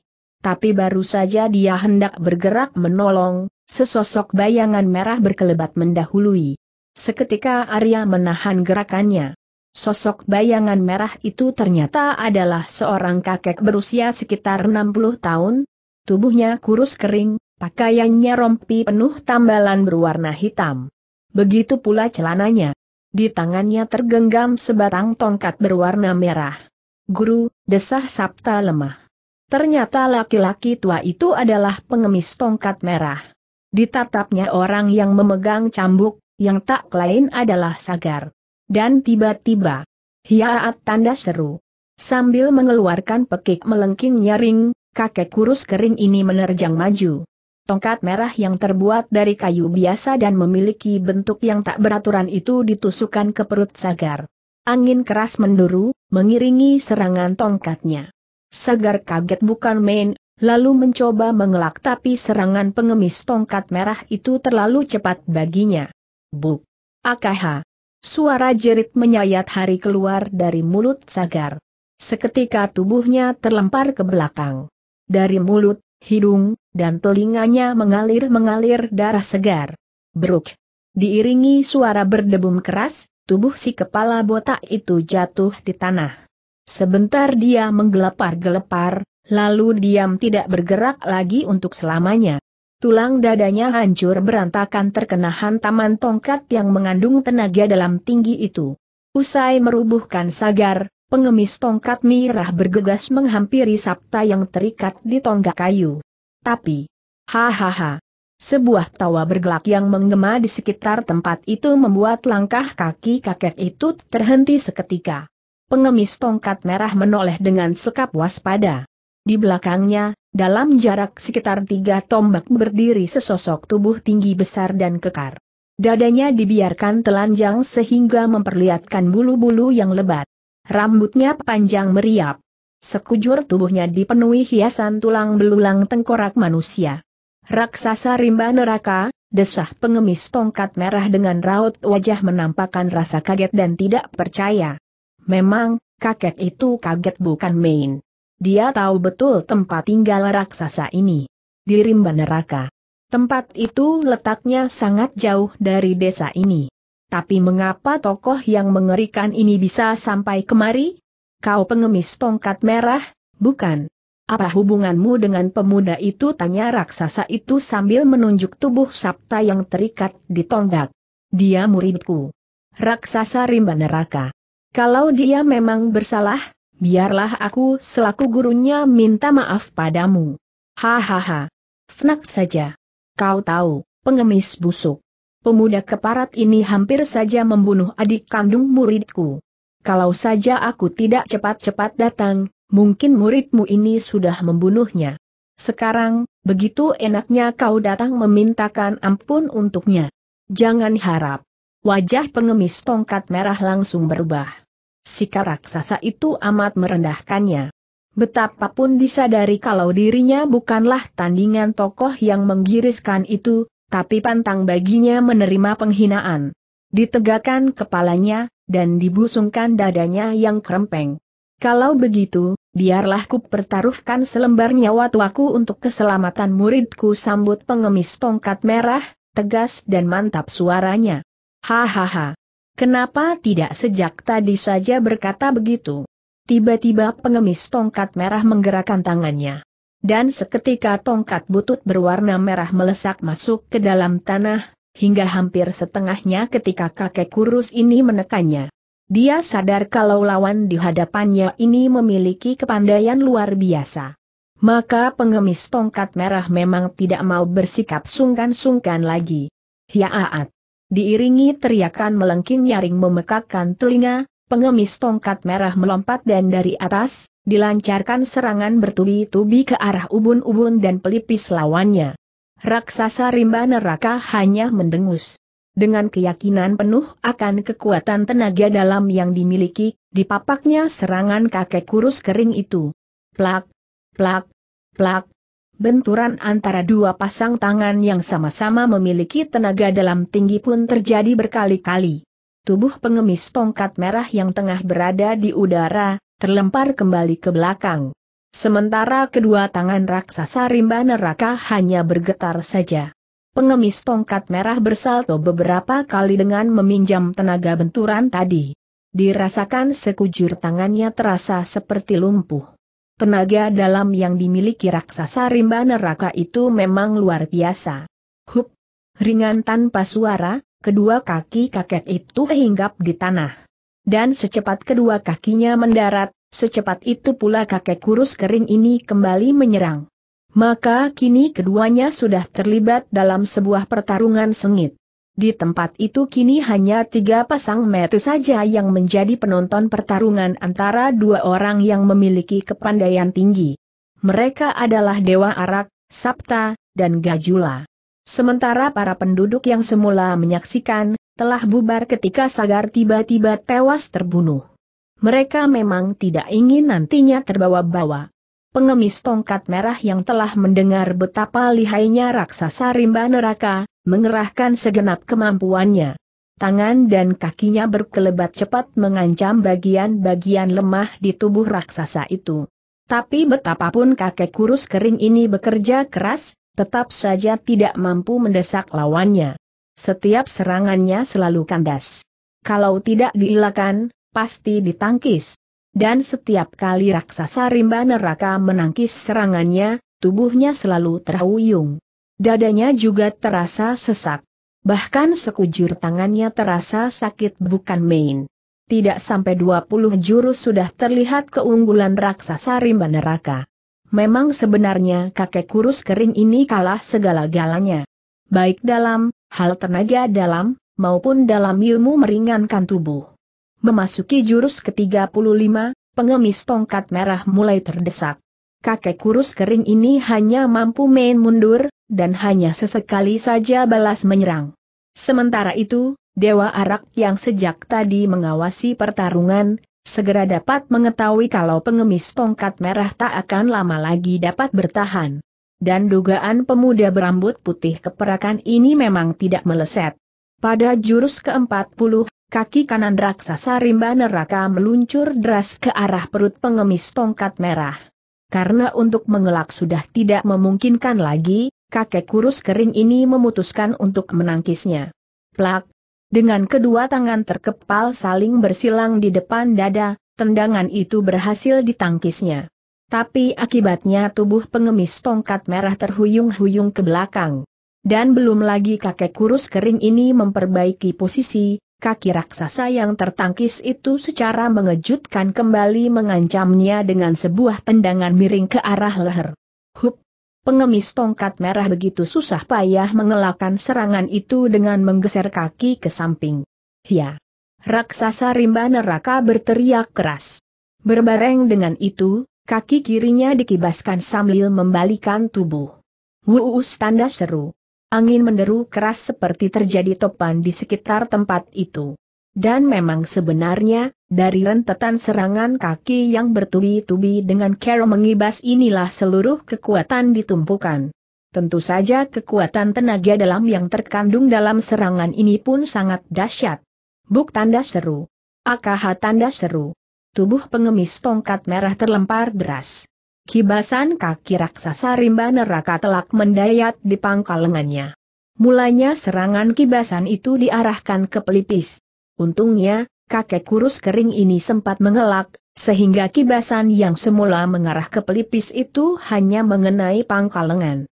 Meskipun demikian akibat yang diterima kakek kurus kering ini tidak ringan. Bagian yang terkena kibasan kaki terasa sakit bukan main. Seolah-olah tulang belulangnya remuk. Padahal tadi sudah dikerahkan seluruh tenaga dalamnya untuk melindungi bagian yang terserang. Belum sempat pengemis tongkat merah memperbaiki posisinya, kini serangan susulan raksasa rimba neraka menyambar tiba. Seketika wajah kakek kurus kering ini pucat. Di saat kritis itu mendadak sesosok bayangan berkelebat memapak serangan itu. Plak, plak tanda seru. Benturan keras terdengar berkali-kali, disusul terpentalnya kedua sosok tubuh itu ke belakang. GRRRH tanda seru raksasa rimba neraka menggeram. Diam-diam kakek tinggi besar ini kaget bukan main. Dari benturan yang baru saja terjadi, diketahui kalau sosok bayangan yang menangkis serangannya pasti memiliki tenaga dalam yang tidak rendah. Malah kedua tangannya sampai tergetar hebat dan sakit-sakit karenanya. Dapat dibayangkan betapa kagetnya hati si raksasa ini ketika melihat orang yang menangkis serangannya itu. Tampak di hadapannya dalam jarak sekitar tiga tombak, berdiri seorang pemuda berambut panjang meriak berwarna putih keperakan. Betulkah pemuda ini yang baru saja menangkis serangannya tadi? Padahal serangan itu dilakukan dengan pengerahan tenaga seluruhnya. Hampir-hampir kakek raksasa ini tidak percaya kalau tidak menyaksikan sendiri. Seumur hidupnya belum pernah ditemukan tokoh yang mampu membuatnya terjengkang ke belakang dalam adu tenaga, kecuali pemuda di hadapannya ini. Apalagi yang berada di hadapannya ini adalah tokoh muda. Siapa kau, bocah? Apa hubunganmu dengan kakek itu tanyanya keras. Sepasang mata raksasa rimba neraka yang besar ini pelahan menyipit. Dewa Arak yang juga merasakan betapa kuatnya tenaga dalam yang dimiliki kakek raksasa di hadapannya ini, bersikap hati-hati. Aku Arya, seorang pengelana. Dan aku tidak mempunyai hubungan apa-apa dengan kakek yang hendak kau bunuh itu. Hanya saja, Aku tidak bisa membiarkan adanya kekejaman berlangsung di depan mataku tegas dan jelas kata-kata pemuda berambut putih keperakan itu. Hahaha. Jadi kaulah rupanya orang yang berjuluk Dewa Arak. Hahaha. Pucuk dicinta ulam tiba. Memang sudah lama aku ingin menjajal kelihayan tokoh yang katanya menggemparkan dunia persilatan itu. Sungguh tidak kusangka, julukan yang cukup menyeramkan itu hanya dimiliki seorang pemuda ingusan. Bersiaplah kau, pemuda sombong. Setelah berkata demikian, raksasa rimba neraka menjulurkan kedua tangannya ke depan, kemudian pelahan-lahan mengepalkannya. Terdengar suara bergemeletuk keras seolah-olah sekujur tulang-tulangnya berpatahan. Dewa Arak yang sudah bisa mengukur kepandaian lawan, tidak berani bersikap main-main. Segera diambil guci yang terikat di punggung, lalu diangkat ke atas kepala. Sebentar saja beberapa teguk arak telah berpindah ke tenggorokannya. Gluk, gluk, gluk. Terdengar suara tegukan ketika arak itu melewati tenggorokannya. Sesaat kemudian tubuh pemuda itu pun mulai hangat dan limbung. Hiaa tanda seru. Tiba-tiba terdengar teriakan menggeledek dari mulut raksasa rimba neraka.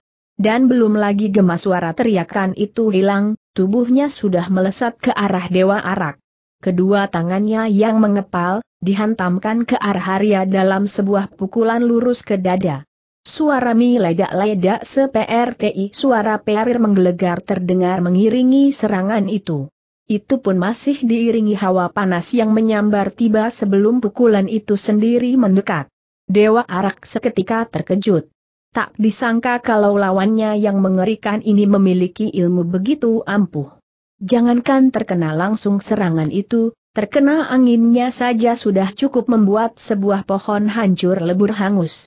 Dewa Arak yang selalu bersikap hati-hati dan tidak pernah memandang rendah lawan, segera mengeluarkan jurus delapan langkah belalang untuk menghadapinya. Berak! Sebatang pohon sebesar pelukan dua orang dewasa langsung hancur terkena angin pukulan yang tidak mengenai sasaran karena tubuh Dewa Arak sudah lenyap dari situ. GRRRH tanda seru raksasa rimba neraka meraung keras melihat lawannya tiba-tiba lenyap dari hadapannya. Untuk sesaat ia kebingungan. Tapi begitu terasa ada angin mendesir di belakangnya, segera saja diketahui kalau lawan ada di belakangnya. Dan seketika itu pula raksasa itu melempar tubuhnya ke depan, kemudian menggulingkan tubuhnya. Dewa Arak tidak memberi kesempatan pada kakek raksasa ini untuk memperbaiki posisinya. Segera diburu tubuh yang sedang bergulingan itu. Wut! Dia yunkan kucinya ke arah kepala lawannya. Ah seru Dewa Arak kaget. Entah bagaimana caranya, kini posisi kepala itu telah berada di tempat aman, tenaga sepasang kaki yang mempunyai kembangan gerakan tidak terduga-duga. Walaupun Dewa Arak berusaha keras menjatuhkan serangan pada bagian kepala dan tubuh, tapi niatnya selalu kandas. Setiap serangannya selalu dihadang sepasang kaki yang mempunyai pertahanan luar biasa kokohnya. Raksasa itu menghadapi Dewa Arak dengan posisi tubuh terlentang di tanah. Bahkan beberapa kali Dewa Arak terpaksa menghindar ketika raksasa rimba neraka melancarkan serangan balasan. hektometer. Jurus tanggiling, desah pengemis tongkat merah yang sejak tadi memperhatikan jalannya pertempuran itu. Sejak mendengar pemuda berambut putih keperakan itu memperkenalkan namanya, kakek kurus kering ini sudah menduga kalau pemuda itu adalah Dewa Arak. Maka begitu dugaannya benar, diputuskan untuk menonton pertarungan yang sudah dibayangkan berlangsung dahsyat.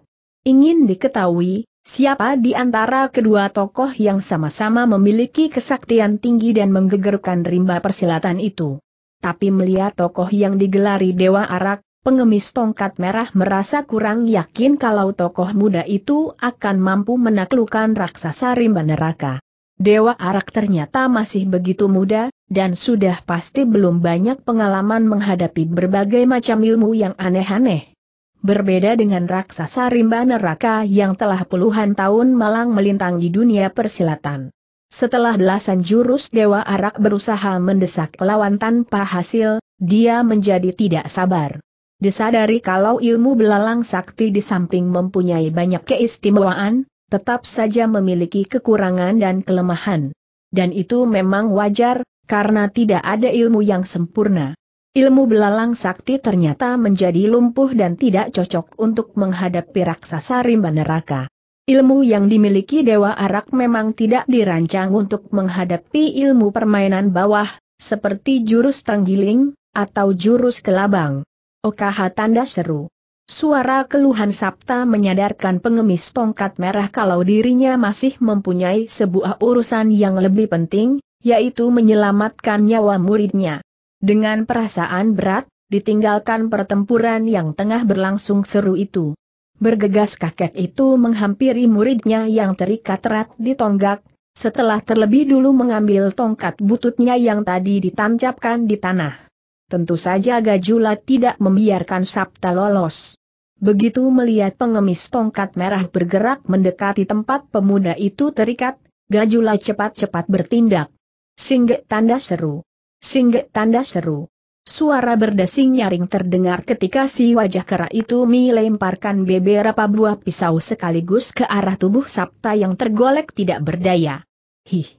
pengemis tongkat merah yang melihat bahaya maut mengancam muridnya segera menghentakkan kedua tangannya ke depan. Wut! Trak!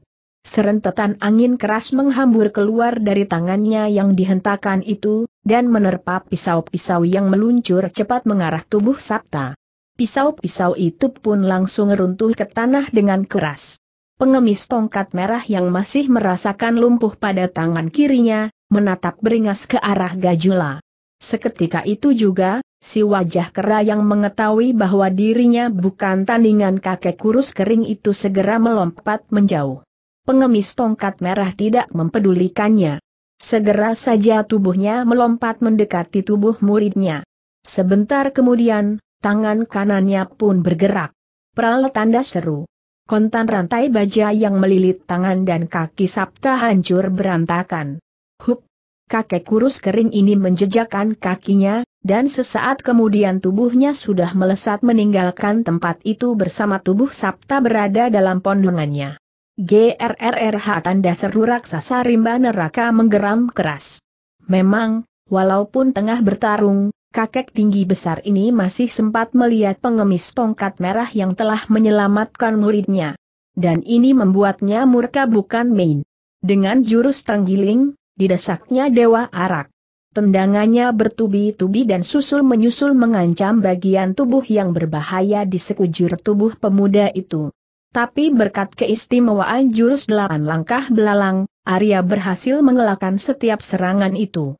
Hanya saja tidak seperti biasanya, kali ini jurus delapan langkah belalang tidak bisa digunakan untuk mengelak dan langsung mengancam lawan. Selagi Dewa Arak sibuk mengelakkan serangan-serangan, raksasa rimba neraka melentingkan tubuhnya menjauh. Dia langsung mengejar pengemis tongkat merah yang melarikan diri. Melihat kepergian gurunya, Gajula pun segera melesat kabur dari situ. Dewa Arak yang memang sama sekali tidak mempunyai urusan dengan mereka, tidak mengejar. Yang dipentingkan kali ini adalah menyelamatkan desa ini dari tangan jahat Toga, si kepala desa. Dewa Arak pun melesat meninggalkan tempat itu.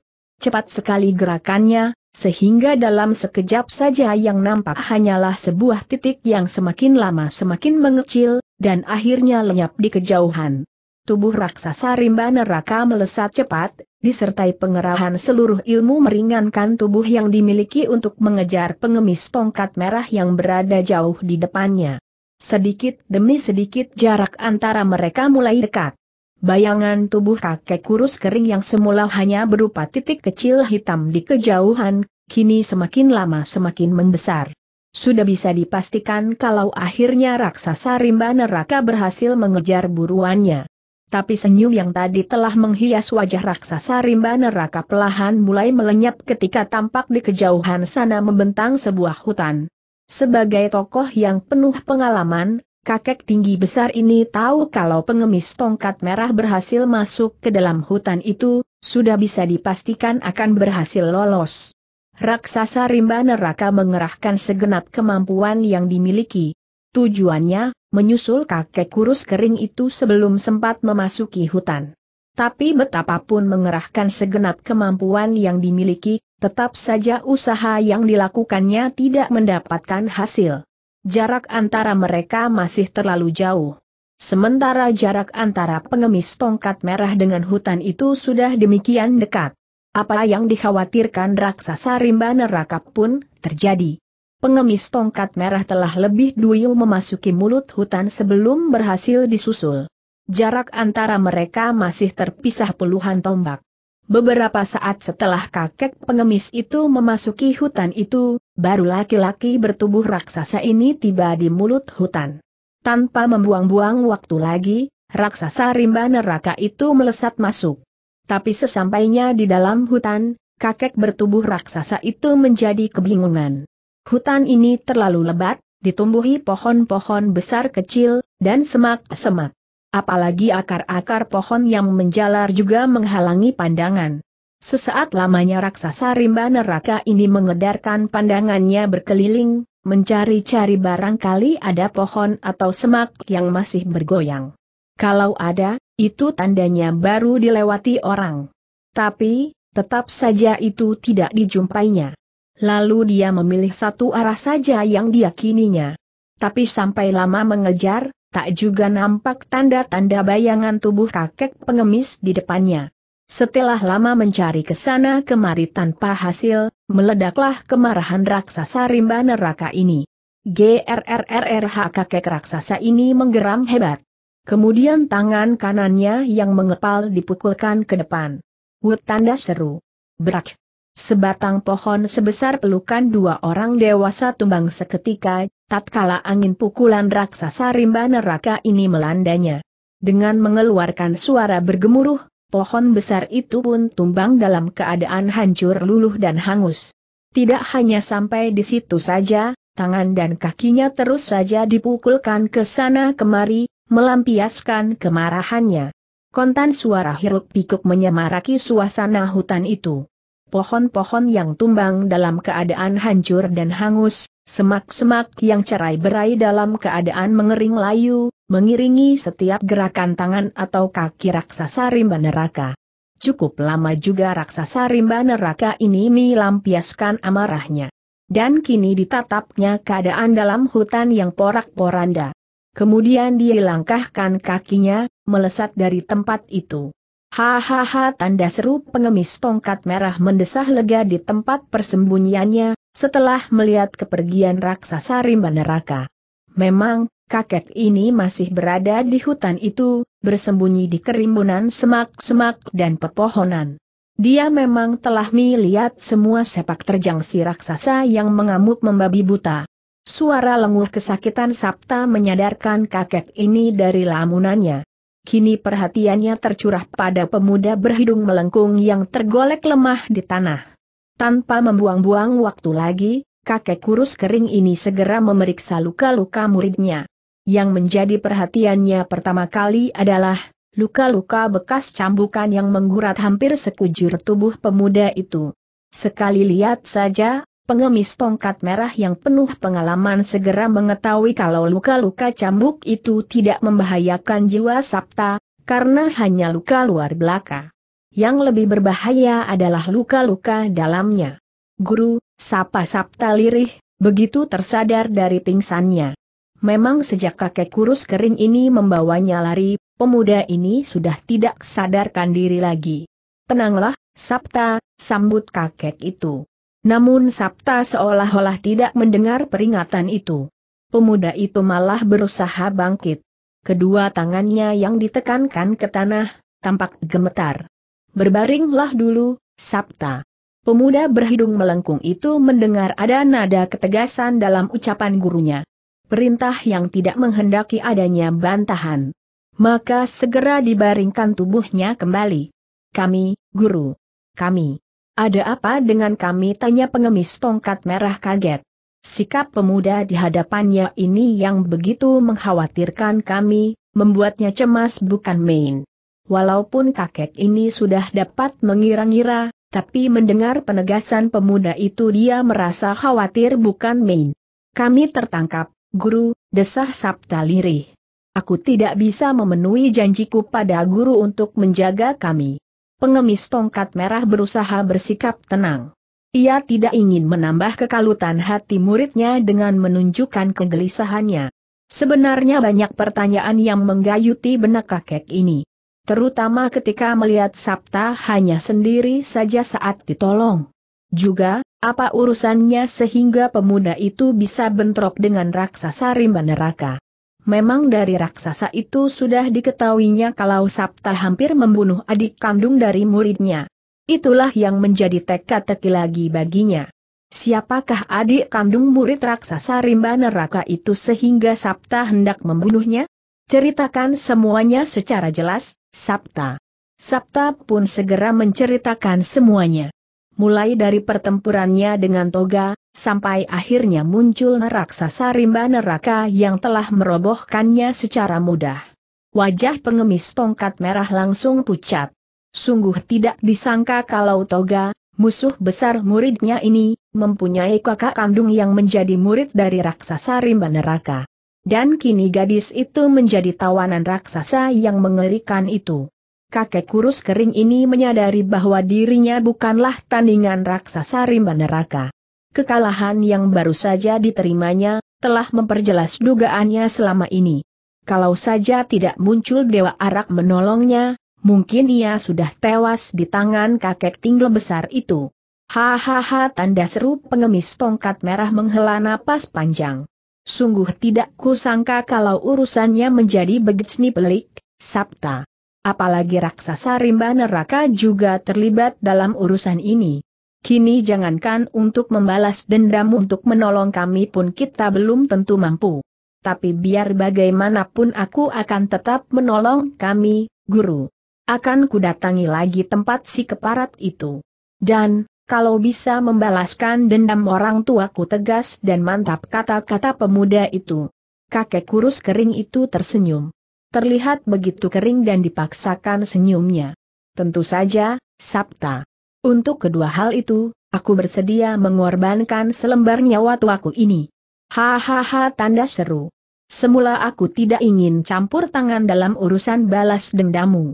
Tapi kini setelah raksasa rimba neraka berdiri di belakang musuh-musuhmu, aku tidak bisa berpangku tangan lagi. Dada Sabta terasa sesak oleh rasa haru yang amat sangat melihat pembelaan gurunya yang begitu besar. Sekarang yang penting, pulihkan dulu tubuhmu. Jangan bangkit dulu. Aku akan mencari daun-daunan dan akar-akaran untuk mengobati luka-lukamu. Sabta menganggukkan kepalanya. Pengemis tongkat merah pun segera melesat dari situ. Beberapa saat kemudian, kakek itu pun kembali dan telah menggenggam daun-daunan dan akar-akaran yang berkhasiat untuk mengobati luka-luka yang diderita Sabta dan dirinya sendiri. Auyung tanda seru. Lolongan anjing hutan menggaung panjang, merobek kesunyian malam yang mencekam. Padahal malam itu langit bersih tidak berawan. Bulan bersinar penuh, memancarkan sinarnya yang kekuningan di langit. Tapi anehnya dalam suasana secerah itu, di desa Gebang nampak sepi seperti mati. Tapi rupanya masih ada juga orang yang berada di luar rumah. Terbukti, tampak sesosok bayangan ungu melesat dari satu atap ke atap rumah lainnya. Gerakannya gesit sekali. Kalau saja ada penduduk yang melihat, tentu akan disangka hantu.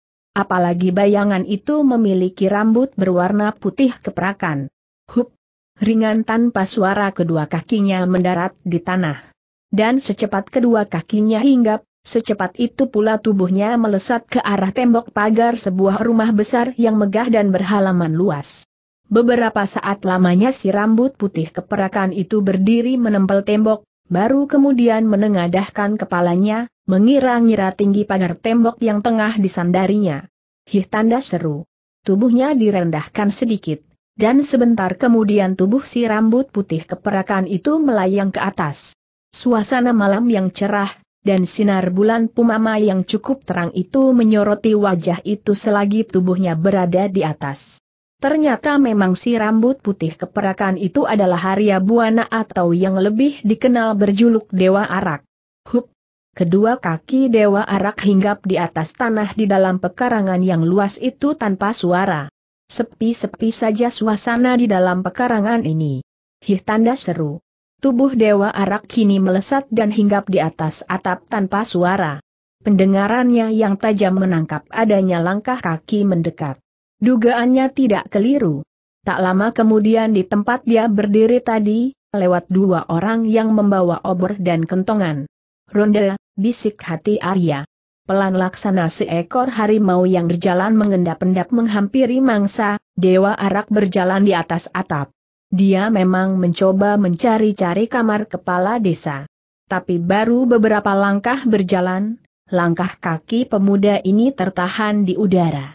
Pendengarannya yang tajam, menangkap adanya rintihan lirih di bawah sana dan perasaan penasaran mendorong pemuda ini mendekatkan telinganya ke genteng.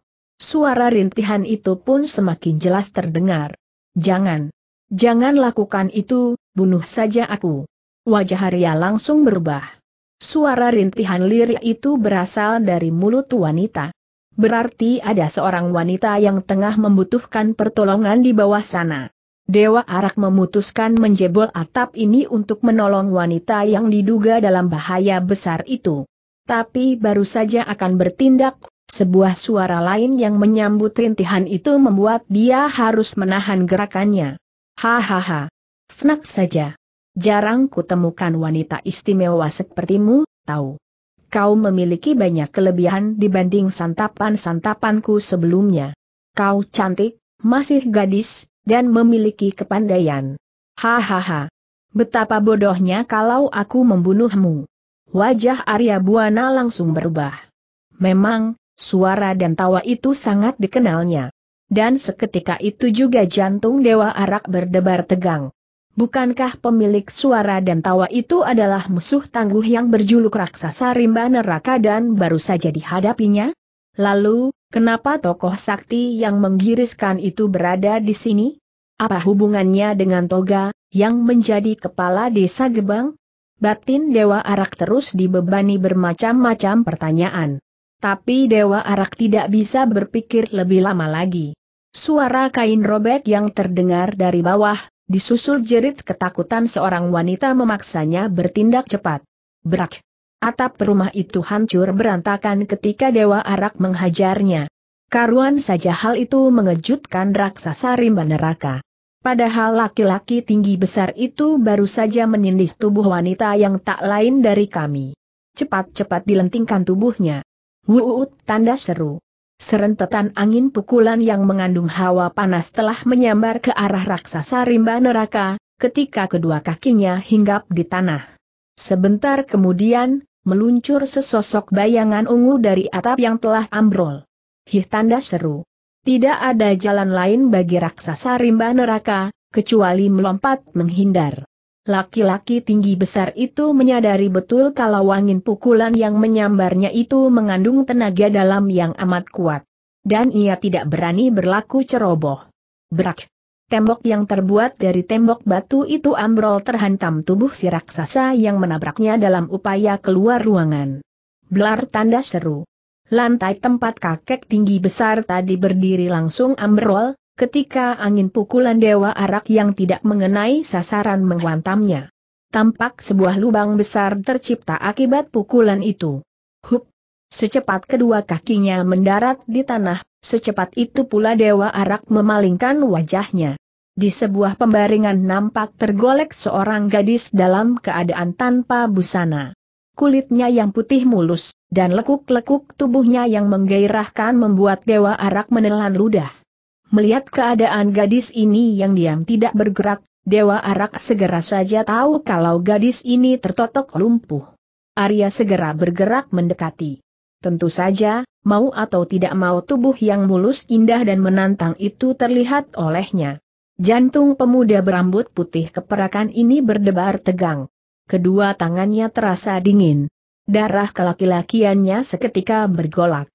Sambil menarik napas untuk menenangkan hatinya yang terguncang, Arya menggerakkan tangannya membuka totokan yang membuat gadis itu lumpuh cepat kenakan pakaianmu, dan pergilah perintah Arya sambil melesat keluar, melalui lubang di tembok yang dibuat raksasa rimba neraka tadi.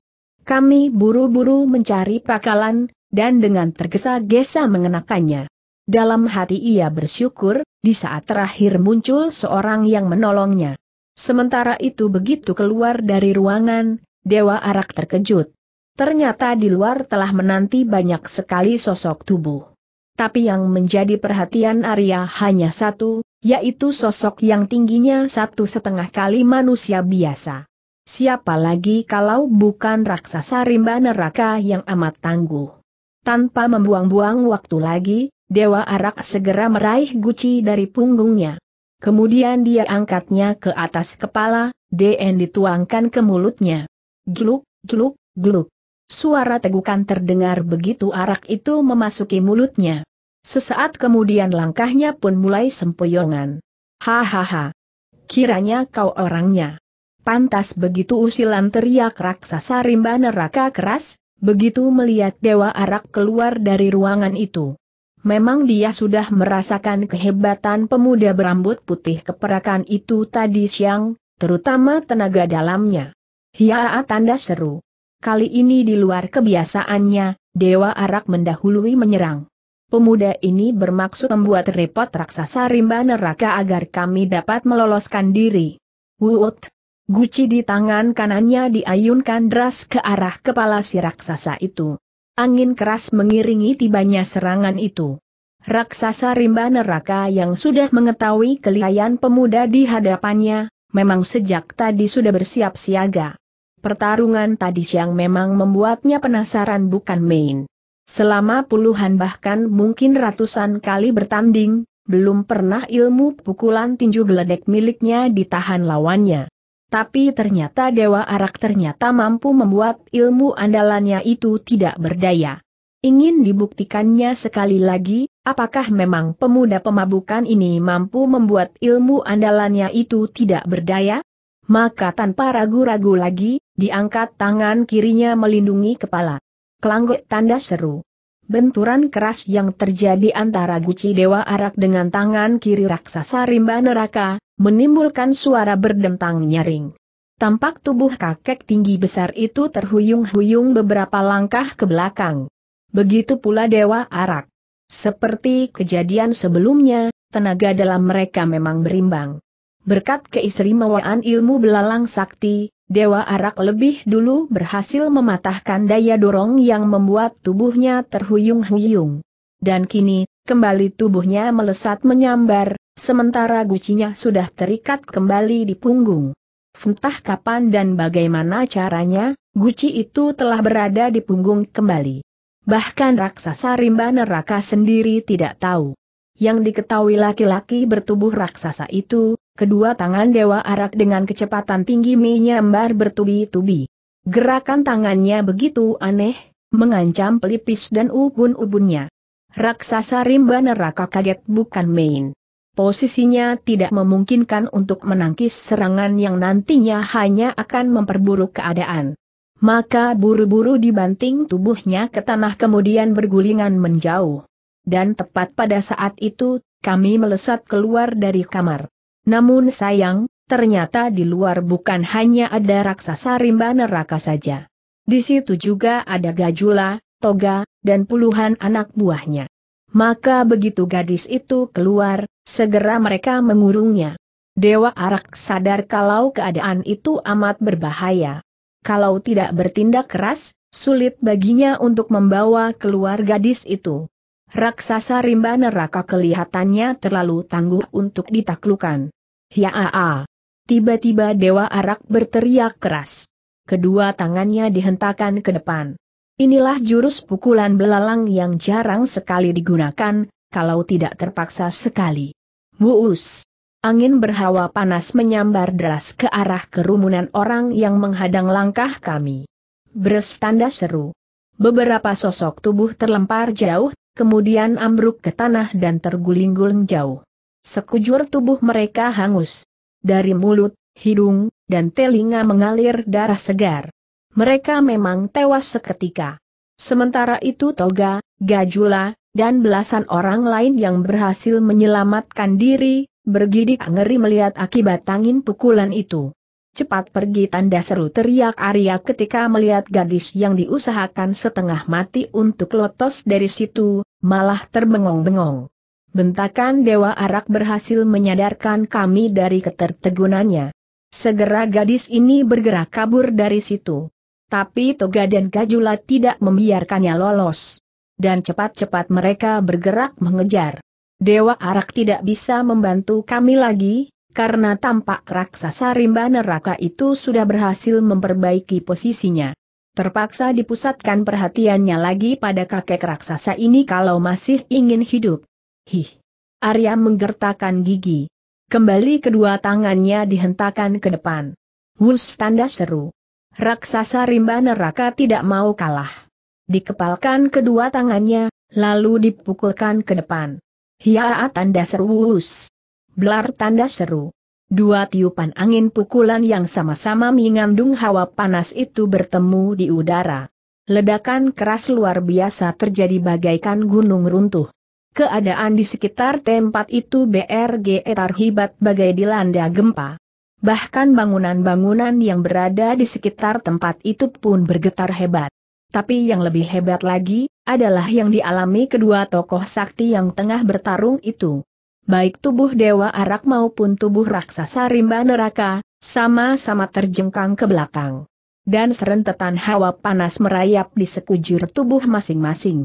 AKH tanda seru. Terdengar pekikan tertahan, disusul terhuyungnya tubuh kami. Rupanya Toga dan Kajula berhasil mengejarnya.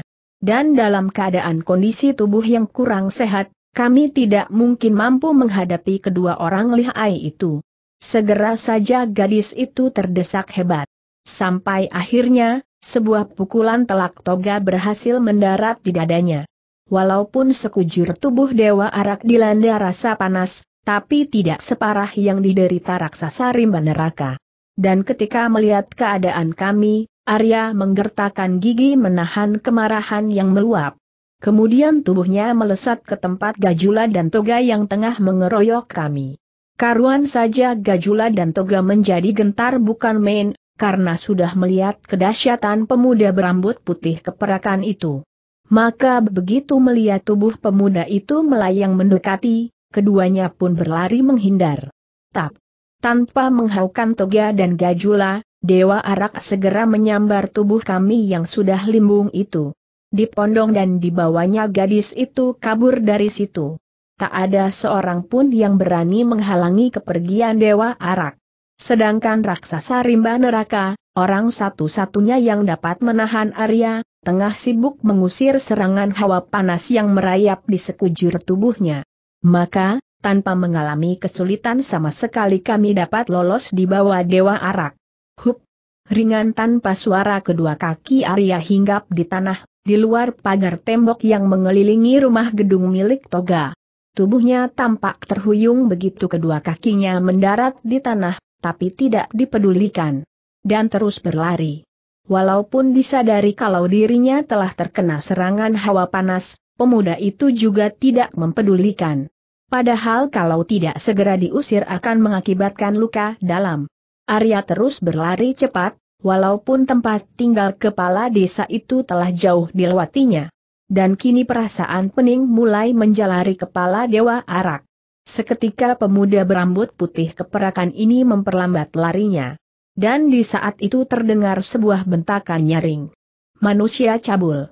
Lepaskan wanita itu belum habis gemas suara bentakan itu, sesosok bayangan yang belum terlihat jelas telah menyerangnya. Dan Arya mencoba mengelak, tapi keadaan tubuhnya yang tidak memungkinkan begitu menyulitkannya. Buk tanda seru. Pukulan dari sosok bayangan itu telak mengenai pangkal lengannya. AKH tanda seru. Dewa Arak mengeluh tertahan, dan tubuhnya langsung terjengkang. Dan dengan demikian, tubuh kami yang tengah dipondongnya terlepas dan terlempar. Tapi sebelum tubuh gadis itu terjatuh di tanah, si penyerang telah terlebih dulu bergerak. Tap. Tubuh kami berhasil ditangkap orang itu. Arya menggeleng-gelengkan kepalanya. Hawa panas yang menyerang membuat pandangannya berkunang-kunang. Sehingga, Dewa Arak kini tidak bisa melihat jelas sosok tubuh di hadapannya tapi bentuk tubuh pemuda itu masih bisa dikenali.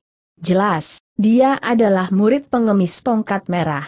Dan kini samar-samar terdengar ucapan si penyerang. Kau tidak apa-apa, kami. Tampaklah si penyerang tengah meletakkan gadis itu di bawah sebatang pohon.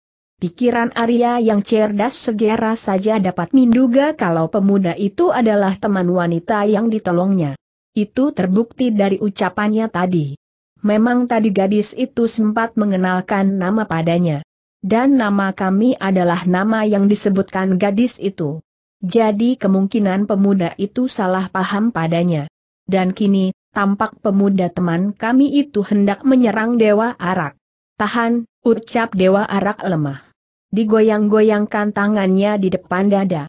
Tapi Sabta kelihatannya sudah marah bukan main ketika melihat pemuda berambut putih keperakan itu membawa lari orang yang dicintainya. Dia tidak mempedulikan cegahan itu. Keadaannya yang waktu itu setengah sadar, membuatnya lupa kalau pemuda yang berada di hadapannya inilah yang telah menolong dirinya dan gurunya. Apalagi saat itu kemarahan tengah melanda hatinya. Kembali tangannya bergerak melancarkan serangan. Dewa Arak kaget sekali.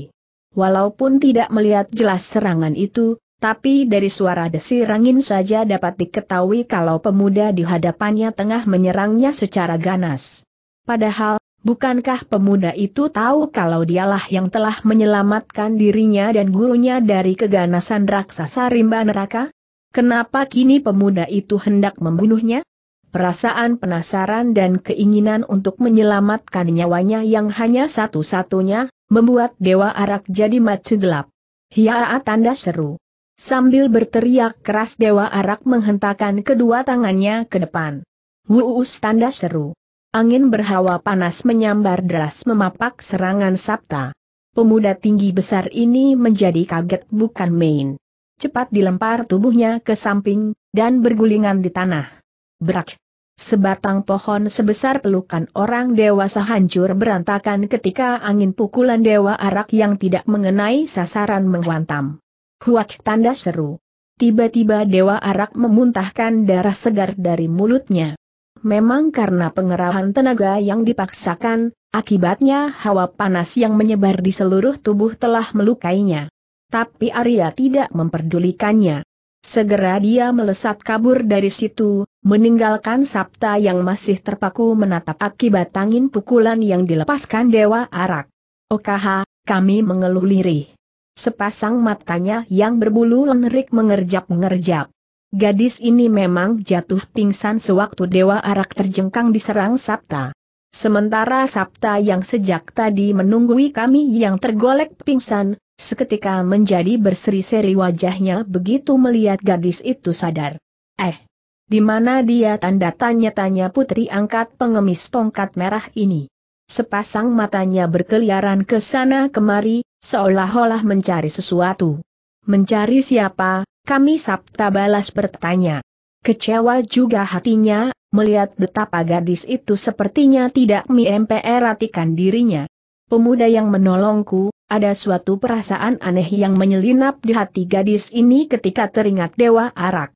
Wajahnya jantan, keperkasaan, dan tindak tanduknya yang begitu tenang, begitu mengagumkan hatinya. Seketika wajah pemuda berhidung melengkung ini berubah. Siapa pemuda berambut putih keperakan, jelas kami. Pemuda yang memondongmu tanya Sabta. Ada nada tidak senang dalam suara itu. Kami tentu saja merasakan adanya nada ketidaksenangan dalam suara itu. Sepasang alis yang bagus bentuknya itu pun berkerut. Ditatapnya wajah pemuda di hadapannya itu lekat-lekat. Mendadak terbayang kembali, sesosok bayangan yang memukul pemuda yang memondongnya sehingga tubuhnya terlempar, dan jatuh pingsan.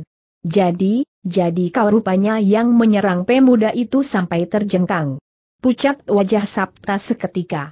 Tapi pantang baginya menyembunyikan perbuatannya. Ya jawabnya tegas, akulah yang menyerangnya. Lalu, Ke mana dia desak kami? Tajam dan keras nada suaranya. Kabur. Sehabis melepaskan pukulan yang menimbulkan akibat mengerikan pada pohon itu sahut Sabta sambil menunjuk pohon yang terkena angin pukulan Dewa Arak. Kami menolehkan kepalanya, memandang ke arah telunjuk tangan Sabta. Meremang bulu kuduk gadis itu melihat pohon yang begitu besar, hancur berantakan. Beberapa saat lamanya putri angkat pengemis tongkat merah ini terpaku. Aku tahu pasti, tidak akan mungkin dia melepaskan pukulan sedahsyat itu kalau nyawanya tidak terancam. Aku tahu dia terluka dalam. Karena berkali-kali sewaktu membawaku lari, langkahnya sempoyongan dan hampir jatuh. Sabta menghela napas. Memang kuakui, kami. Pemuda itu berusaha mencegah seranganku dan yang pasti, kau menyerangnya dengan sebuah pukulan mematikan, bukan selak kami berapi-api. Tidak mungkin dia bertindak demikian hingga mengeluarkan pukulan yang sangat menguras tenaga. Kau tahu, saat itu dia telah terluka dalam karena bertarung melawan raksasa rimba neraka dan antek-antek musuh besarmu. Kalau tidak, jangan harap kau dapat merubuhkannya. Sabta mengangkat kepalanya, Kesal juga pemuda ini disalahkan terus-menerus. Kuakui, aku memang salah. Tapi itu tidak berarti kau terus membela pemuda itu. Aku terpaksa menyerangnya, karena khawatir pemuda itu akan berbuat tidak baik kepadamu. Kami tersadar seketika. Memang disadari kalau sikapnya tidak adil. Sabta sebenarnya sama sekali tidak bersalah. Pemuda itu terpaksa berbuat demikian karena khawatir akan keselamatan dirinya. Maafkan aku, Ken, ucap gadis itu pelan. Sabta tersenyum pelahan. Kecerahan pada wajahnya pun nampak kembali. Tidak ada yang perlu dimaafkan. Kau sama sekali tidak bersalah. Tapi yang jelas, aku bersalah pada pemuda penolongmu itu. Kelak bila berjumpa kembali dengannya, aku akan meminta maaf, jelas Sabta. Pemuda ini memang mengakui kalau hatinya terbakar api cemburu terhadap Dewa Arak. Akibatnya, dia menyerang lebih dulu. Kami hanya dapat mengangguk. Nah, sekarang mari kita menemui guru, ajak Sabta. Heh, kita kembali ke perguruan langkah kaki kami seketika terhenti. Tentu saja tidak lalu guru memang telah berada di desa ini, jelas Sabta. Ayah ada di desa ini tanya kami setengah tidak percaya. Ya jawab Sabta membenarkan. Kemudian diceritakan semuanya. Sejak dirinya tertangkap sampai dibawa kabur gurunya. Dan ketika kami berdua merasa lapar, aku pamit pada guru untuk berburu binatang. Siapa sangka aku melihat sesosok bayangan tengah memanggul tubuh wanita. Karena curiga, dia ikuti. Kutinggalkan kelinci yang telah kudapatkan. Sinar bulan membantuku untuk mengetahui kalau kaulah orang yang dibawa lari orang itu. Dan seterusnya kau sendiri pun tahu. Kami mengangguk-anggukan kepala. Sesaat kemudian, keduanya terperangkap dalam keheningan. Sekarang, mari kita berangkat, ajak Sabta.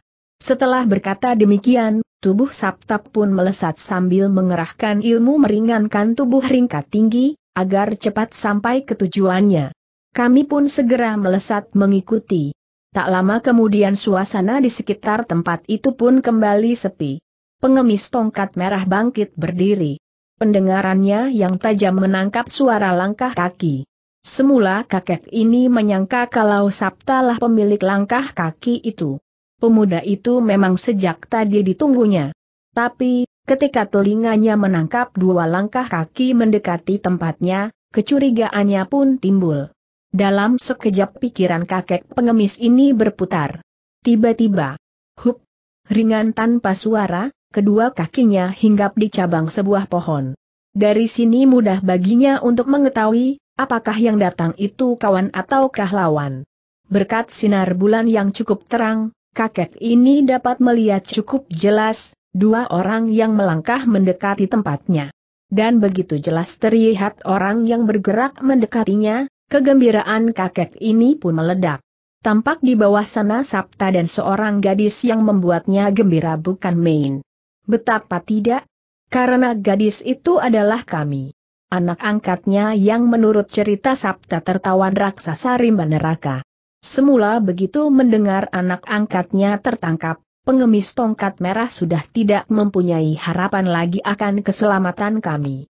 Dia telah mendengar kebiasaan terkutuk tokoh rimba neraka yang menggiriskan itu.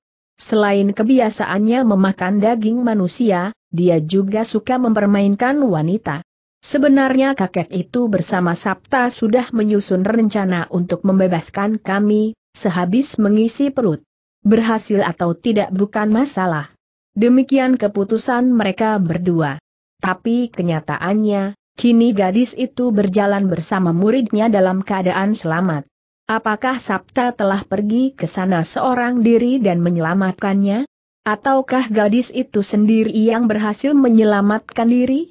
Hup! Ringan tanpa suara pengemis tongkat merah mendaratkan kedua kakinya di tanah, tepat di depan Sabta dan kami. Tentu saja Sabta dan kami kaget bukan main. Seketika seluruh urat syaraf di tubuh mereka menegang, bersiap menghadapi segala kemungkinan. Tapi begitu mengenali orang yang secara mendadak berada di hadapan mereka, seketika itu juga urat-urat syaraf di tubuh keduanya kembali mengendur. Guru seru sabta. Ayah ujar kami tak mau kalah. Kedua tangannya langsung dikembangkan. Ditubruknya ayah angkatnya. Pengemis tongkat merah memeluk tubuh anak angkatnya erat-erat. Diusap-usapnya rambut tebal dan hitam milik gadis itu. Suaranya terdengar tersendat. Ayah hampir tidak percaya melihatmu, kami. Menurut penuturan Sabta, kau ditangkap raksasa rimba neraka. Bagaimana kau bisa lolos dari tangan raksasa itu? Kami melepaskan pelukannya. Ditatapnya wajah kakek kurus kering di hadapannya dalam-dalam. Sepasang mata gadis ini nampak memerah. Memang, kini rasa takut belum sepenuhnya hilang dari hati kami. Rasa takut akan terjadinya sesuatu yang mengerikan, dan hampir menghancurkan masa depannya. Seseorang telah menolongku, ayah. Ah tanda seru pengemis tongkat merah berseru kaget. Siapa orang yang berani mati membebaskan tawanan raksasa rimba neraka itu? Perasaan bingung menggayuti hatinya. Apakah orang itu sabta tanya kakek itu dalam hati? Seketika wajah pemuda tinggi besar itu memerah. Jawaban gurunya itu mengingatkan, betapa dia telah melakukan perbuatan tercela. Dia telah melukai penolong kami, walaupun hal itu tidak disengaja. Dewa Arak, ayah, tegas kami. Dewa Arak tanda seru teriak kakek pengemis ini kaget. Kami menganggukkan kepala membenarkan. Lalu gadis berpakaian jingga itu pun menceritakan semuanya dari mulai kedatangan Dewa Arak di saat ancaman mengerikan hampir menimpanya, sampai Dewa Arak terluka oleh Sabta karena kesalahpahaman. Ah tanda seru. Memang, berita tentang keluaran budi Dewa Arak tidak berlebihan. Walaupun kita sama sekali bukan kerabat atau sahabatnya, ia rela mempertaruhkan nyawa untuk menolongmu. Sungguh besar budi yang kita terima darinya. Entah kapan dapat membalasnya, keluh kakek itu. Dan kau, Sabta. Ingat, kau harus meminta maaf padanya atas perbuatanmu itu. Mengerti. Mengerti, guru, pemuda berhidung melengkung itu menganggukkan kepalanya. Nah, sekarang pangganglah dulu kelinci hasil tangkapanmu itu, Sabta ujar pengemis tongkat mirah mengalihkan pembicaraan. Sabta segera mengerjakan perintah gurunya, membakar kelinci yang sejak tadi dijinjingnya. Tak lama kemudian mereka pun sudah sibuk mempersiapkan semuanya. Seorang kakek bertubuh tinggi besar, satu setengah kali manusia biasa, bergerak cepat mendaki lereng gunung jarak. Kakek tinggi besar ini adalah raksasa rimba neraka. Tujuannya mendaki gunung itu jelas mencari pengemis tongkat hitam. Dan dari penduduk yang tinggal di sekitar lereng gunung itu, raksasa rimba neraka telah tahu markas perguruan tongkat merah. Raksasa rimba neraka memang mempunyai aturan aneh. Setiap lawan yang telah kalah olehnya harus mati. Pengemis tongkat merah memang telah dikalahkan. Tapi karena keburu ada yang menolong, kakek kurus kering ini tidak tewas di tangannya. Berkat ilmu meringankan tubuhnya yang sudah mencapai tingkatan tinggi, tak lama kemudian raksasa rimba neraka telah menemukan tempat itu. Kakek raksasa itu memandangi bangunan yang terbuat dari bilik bambu, dan mempunyai halaman luas yang dikelilingi pagar bambu tinggi. Di atas pintu gebang, terpampang papan lebar yang bertuliskan huruf-huruf yang berbunyi perguruan tongkat merah. Hanya beberapa kali lompatan saja, kakek raksasa ini sudah berada di depan pintu gerbang. Dan tiba-tiba dua orang murid perguruan yang berjaga di depan pintu gebang, langsung menghadang langkah kakek ini mereka saling memiringkan tongkat berwarna merah yang digenggam, sehingga membentuk tanda silang. Siapa kisanak ini? Mengapa memasuki daerah kekuasaan perguruan tongkat merah? Tanya salah seorang yang berjaga-jaga. Wajahnya nampak memancarkan kekagetan melihat tubuh kakek yang berdiri di hadapannya. Sikap keduanya nampak waspada. Melihat dandanan kakek di hadapan mereka ini saja, mereka sudah bisa memperkirakan kalau kakek ini bukanlah tokoh baik-baik. Hahaha raksasa rimba neraka tertawa bergelak. Aku datang untuk membunuh pengemis tongkat merah. Sekaligus ingin menghancurkan perguruan ini. Keparat teriak salah seorang dari penjaga itu. Tongkat merah di tangannya pun disabetkannya. Tujuannya mungkin kepala. Tapi karena si penjaga ini ukuran tubuhnya biasa saja, sementara raksasa rimba neraka memiliki tubuh di atas wajarnya, maka serangannya pun hanya mengancam bawah pundak kakek raksasa itu. Raksasa rimba neraka tersenyum mengejek. Dibiarkan saja sabetan tongkat ke arah pangkal lengannya itu. Buk tanda seru. Krak tanda tanya. Telak dan keras sekali tongkat itu menghantam sasarannya. Tapi akibatnya, tongkat yang menghajar pangkal lengan raksasa rimba neraka justru yang patah. Hahaha kembali kakek tinggi besar itu tertawa terbahak-bahak. Berbarengan dengan itu, kedua tangannya diulurkan ke depan. Tap tanda seru. Tap tanda seru. Tanpa kedua penjaga itu sempat berbuat apa-apa, kuduk keduanya sudah dicengkeram tangan si raksasa itu. Akah ah tanda seru. Kedua penjaga itu memekik tertahan. Dirasakan tulang leher belakang mereka patah-patah. Belum lagi mereka sempat berbuat sesuatu, tangan raksasa rimba neraka bergerak. Prak. Terdengar suara berderak keras ketika kedua kepala penjaga yang sial itu diadu satu sama lain. Cairan kental berwarna kemerahan, berikut cairan kental berwarna keputihan langsung muncrat dari kepala yang pecah itu. Tidak ada lagi suara yang terdengar. Dan ketika kakek tinggi besar itu melepaskan cengkeramannya, tubuh kedua penjaga yang sial itu pun ambruk ke tanah. Mati. Tentu saja keributan yang terjadi di depan pintu gerbang itu, segera mengundang murid-murid lainnya. Dalam waktu sekejap saja, seluruh murid perguruan tongkat merah yang berjumlah sekitar 12 orang berkumpul di depan raksasa rimba neraka dengan sikap mengancam.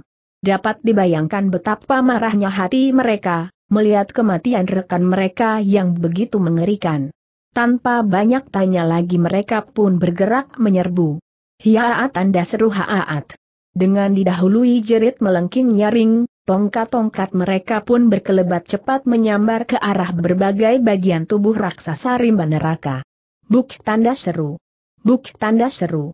Tak. Suara berdebukan terdengar susul menyusul ketika hujan serangan tongkat itu, mendarat pada sasaran masing-masing. Raksasa rimba neraka memang tidak menghindari semua serangan itu. Dengan tenaga dalamnya yang jauh di atas lawan-lawannya, pukulan tongkat-tongkat itu tidak berpengaruh apa-apa. Bahkan sebagian besar tongkat yang menghantam sasarannya patah-patah. Sekarang giliranku tanda seru ucap raksasa itu keras ketika tidak ada lagi hujan serangan tongkat menyambarnya. Belum lagi gemas suara ucapannya lenyap, tangan kakek raksasa itu bergerak ke sana kemari. Es edrana saja gerakannya, tapi akibatnya hebat bukan main. Ke mana pun tangannya bergerak, sudah dapat dipastikan ada satu jiwa yang melayang.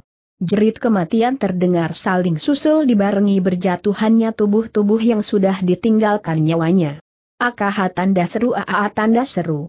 Dua jeritan melengking panjang, mengiringi robohnya dua orang terakhir yang masih hidup. Hahaha. Raksasa rimba neraka kembali mengumandangkan tawanya ketika melihat tidak ada lagi sosok tubuh yang masih berdiri. Semuanya telah tewas dalam keadaan mengerikan. Tapi rupanya kakek tinggi besar ini belum puas terhadap semua perbuatan yang dilakukan. Didekatinya sebatang pohon sebesar pelukan orang dewasa yang berdaun lebat. Setelah jarak antara dirinya dengan pohon itu hanya sekitar tiga tombak, raksasa ini menjulurkan kedua tangannya ke depan. Kemudian pelahan-lahan tangannya dikepalkan.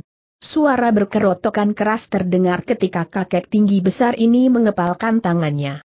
Lambat tapi penuh tenaga, kedua tangan yang telah terkepal keras itu ditariknya ke pinggang. Suara berkerotokan semakin terdengar keras ketika kedua tangan itu ditarik. Hiaat! Sambil berteriak keras melengking yang membuat sekitar tempat itu bergetar hebat, raksasa rimba neraka memukulkan kedua tangannya yang terkepal itu ke depan. Wut tanda seru. Bres tanda seru. Pral. Angin berhawa panas menderu keras, lalu menyambar ke arah rimbunan dedaunan. Dan secepat angin pukulan itu mengenai rimbunan dedaunan itu, secepat itu pula dedaunan itu terbakar.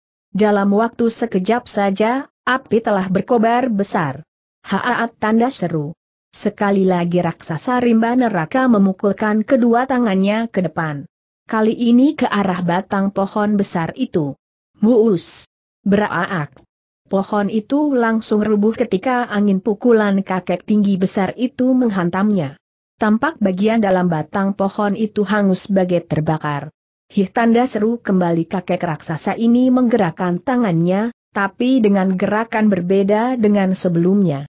Kali ini raksasa rimba neraka melakukan gerak mendorong. Wus tanda seru. Wuk tanda seru. Brak. Hebat luar biasa tenaga dalam yang dimiliki raksasa rimba neraka ini. Dengan angin pukulannya, pohon itu didorong sehingga jatuh tepat di depan salah satu bangunan perguruan tongkat merah. Seketika itu juga api yang tengah membakar pohon itu, menjalar ke arah bangunan berdinding bilik bambu. Mendapat sasaran yang memang mudah terbakar ini, api pun lebih cepat berkobar. Hahaha raksasa rimba neraka tertawa terbahak-bahak, memandangi api yang berkobar melahap bangunan itu. Sekujur tubuhnya nampak penuh keringat. Napasnya pun memburu hebat. Memang apa yang baru saja dilakukannya, banyak menguras tenaga. Sebenarnya kalau kakek raksasa ini hanya ingin membakar bangunan itu, tidak perlu bersusah payah seperti itu. Dia bisa langsung mengerahkan tinju geledek pada dinding bangunan dari bilik itu. Dan itu akibatnya sama saja. Dan memang, raksasa rimba neraka sebenarnya hanya ingin mengetahui kemampuan dirinya. Dan ternyata memang mampu. Hahaha diiringi tawa terbahak-bahak, ditinggalkannya tempat yang pelahan namun pasti mulai habis dimakan api. Namun tanpa diketahui, ada sesosok tubuh yang berlari meninggalkan tempat itu.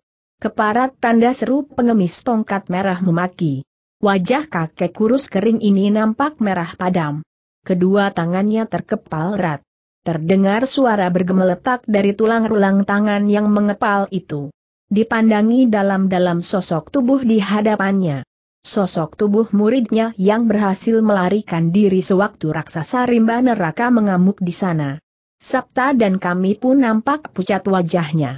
Benarkah ciri-ciri orang yang kau sebutkan itu? Kantara tanya kakek pengemis ini lagi, untuk memastikan. Benar, guru. Pengemis tongkat merah mengangkat wajahnya. Kalau begitu, aku harus membalas perlakuannya. Mati pun tidak mengapa, asal berhasil membunuh kawanan mereka sebanyak-banyaknya. Aku ikut, ayah tegas kami buru-buru. Aku juga, Guru Sabta tak mau kalah. Begitu pula aku, Guru, Pinta Kantara. Kakek kurus kering ini, memandangi wajah anak dan murid-muridnya satu persatu. Ada nada kebanggaan terpancar di mata kakek ini. Sudah dipertimbangkan masak-masak keputusan kalian itu sudah, guru sahut mereka serentak.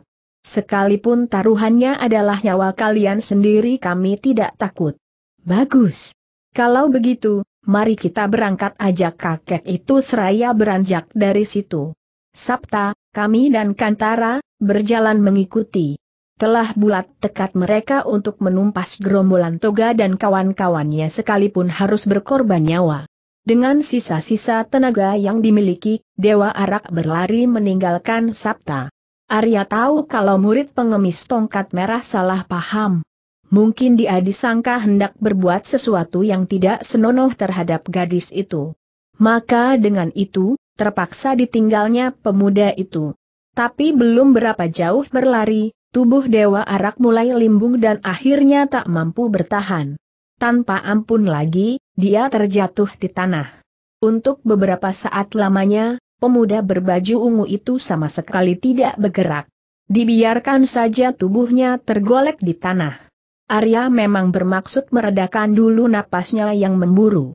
Setelah alur napasnya kembali normal, Dewa Arak beringsut mendekati rimbunan semak yang agak tersembunyi. Di sudut bibir pemuda itu nampak bercak-bercak cairan darah merah. Dikeluarkan sebuah obat pulung yang terjepit di sebuah gulungan kain yang terselip di pinggangnya. Dewa Arak mengambil sebutir, kemudian menelannya. Obat itu memang manjur untuk menyembuhkan luka dalam. Beberapa saat kemudian, Arya mulai diserang rasa kantuk. Dan pelahan namun pasti, sepasang matu itu mulai mengatup. Tak lama kemudian Dewa Arak pun tertidur. Cukup lama juga pemuda itu tertidur. Dan ketika terbangun, yang terasa adalah lemas yang amat sangat.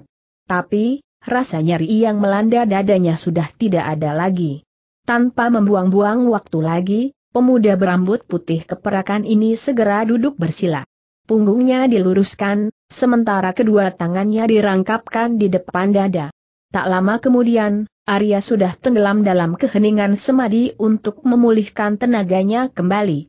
Waktu berlalu tak terasa. Malam pun berganti pagi. Tapi, Arya masih belum juga menghentikan semadinya. Sampai matahari naik tinggi, baru pemuda itu menghentikan semadinya. Hahaha tanda seru. Dewa Arak mendesah lega. Kini seluruh tubuhnya terasa segar kembali dan tenaganya pun telah pulih. Pelahan Arya bangkit dari bersilanya. Kemudian berdiri menyandar pada sebatang pohon. Sepasang matanya menerawang ke depan, sementara benaknya berpikir keras mengingat hal aneh yang dijumpainya semalam. Memang Dewa Arak tengah dilanda kebingungan. Mengapa raksasa rimba neraka ada di rumah kepala desa Gebang? Padahal menurut cerita Ki Marta, kepala desa itu adalah Toga dan dia itu bekas kepala pengawal Ki Panjar. Juga sebenarnya Toga bukan tokoh golongan hitam.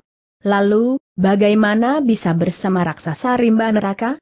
Tapi sampai otaknya lelah berpikir, Dewa Arak belum juga mendapatkan jawabannya.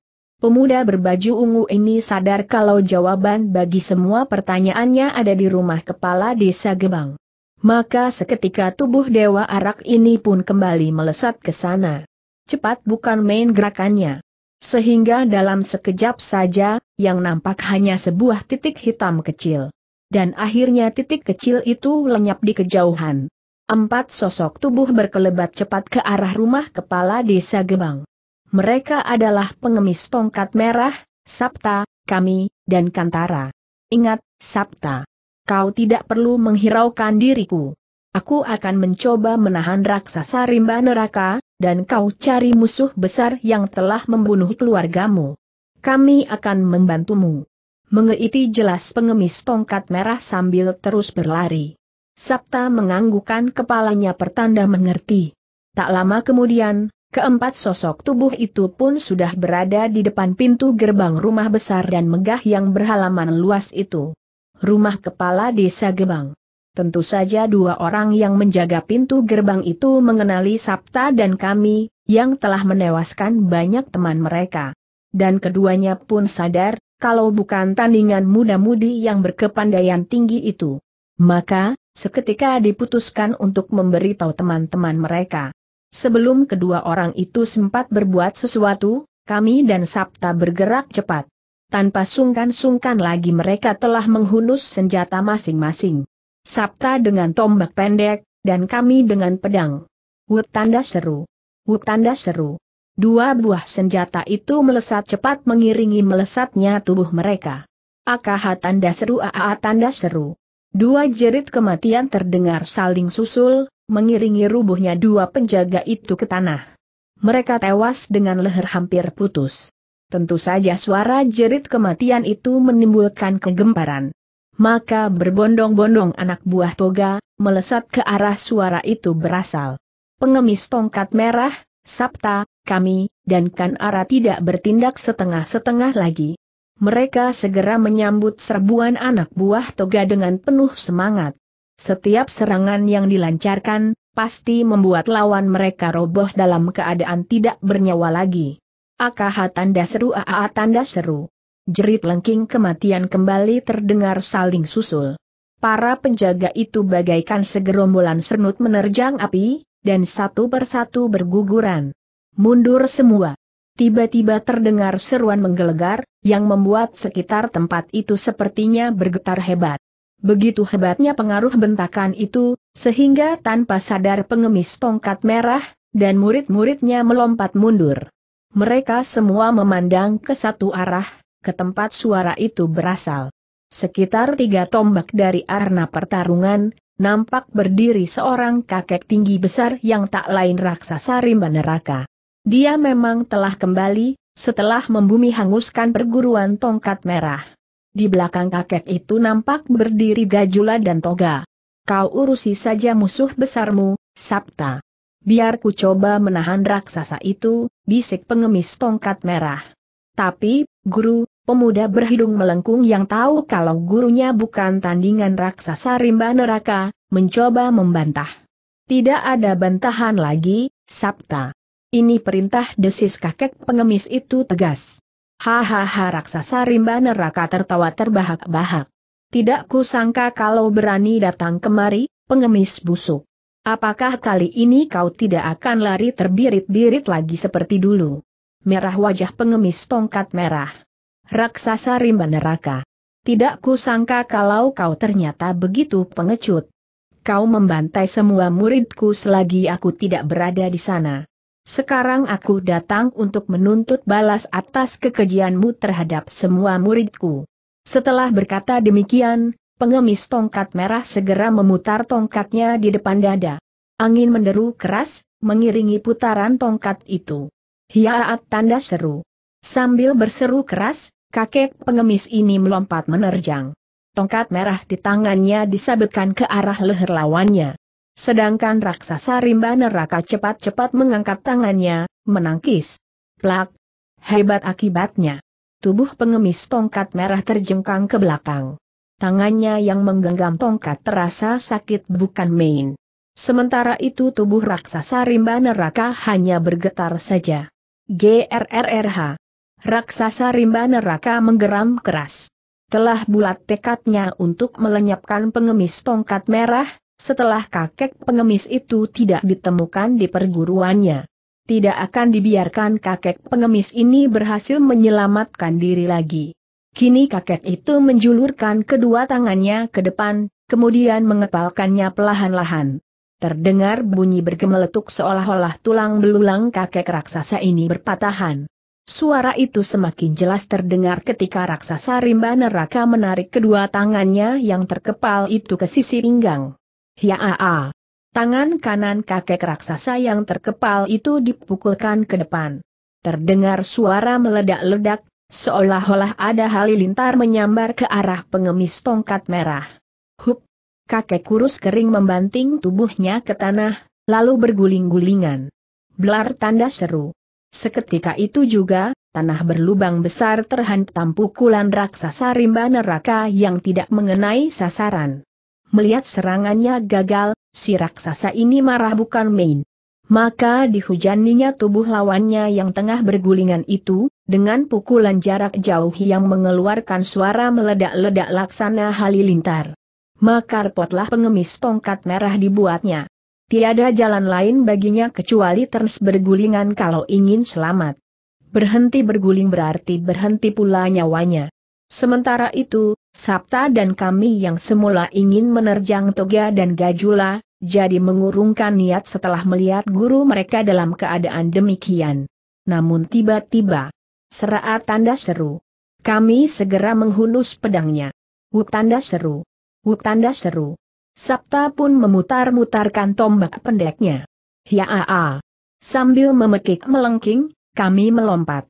Dan seketika itu pula, ujung pedangnya ditusukkan ke arah leher raksasa rimba neraka yang tengah menghujani pengemis tongkat merah dengan pukulan mautnya. Haaat. Sabta pun tak ketinggalan. Pemuda berhidung melengkung ini juga melompat. Tombak pendek di tangannya diputar-putarkan di udara, sebelum ditusukkan ke perut raksasa rimba neraka.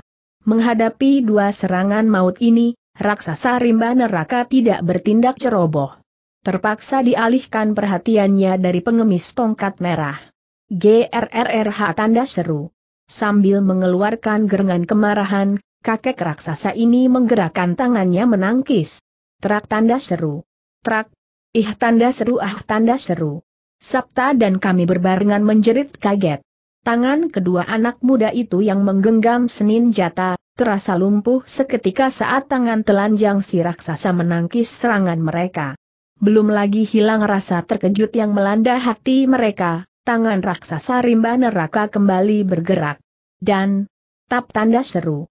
Krek, pedang dan tombak pendek milik kedua muda-mudi itu tahu-tahu telah dicengkeram si raksasa.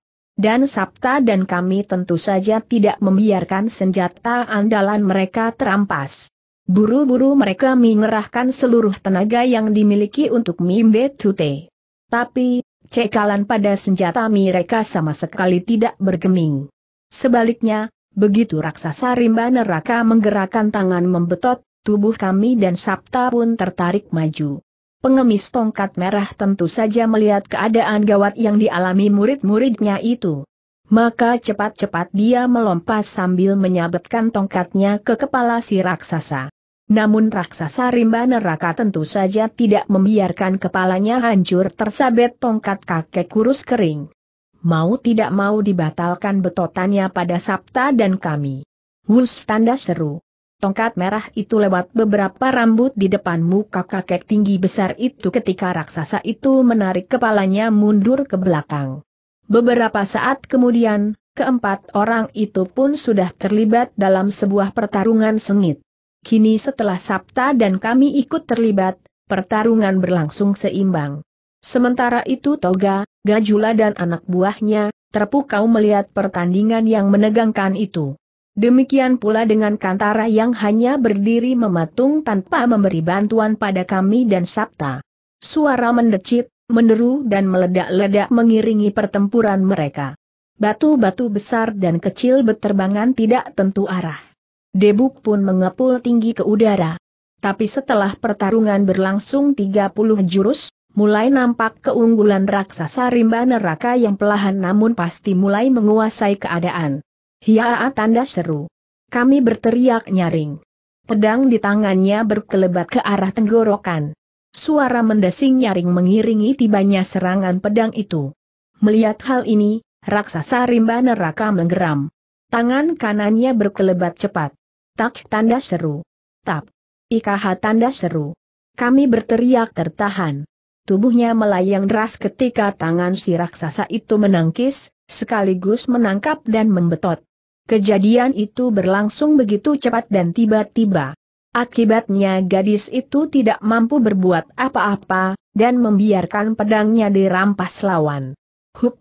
Gadis berpakaian jingga itu mendaratkan kedua kakinya di tanah, walaupun tubuhnya agak limbung. Singgah tanda seru. Secepat pedang kami dirampas, secepat itu pula dilemparkan ke arah Sabta yang tengah menyerang. Terpaksa pemuda berhidung melengkung itu membatalkan serangannya, dan menangkis sambitan pedang yang melesat ke arahnya. Terangguk tanda seru.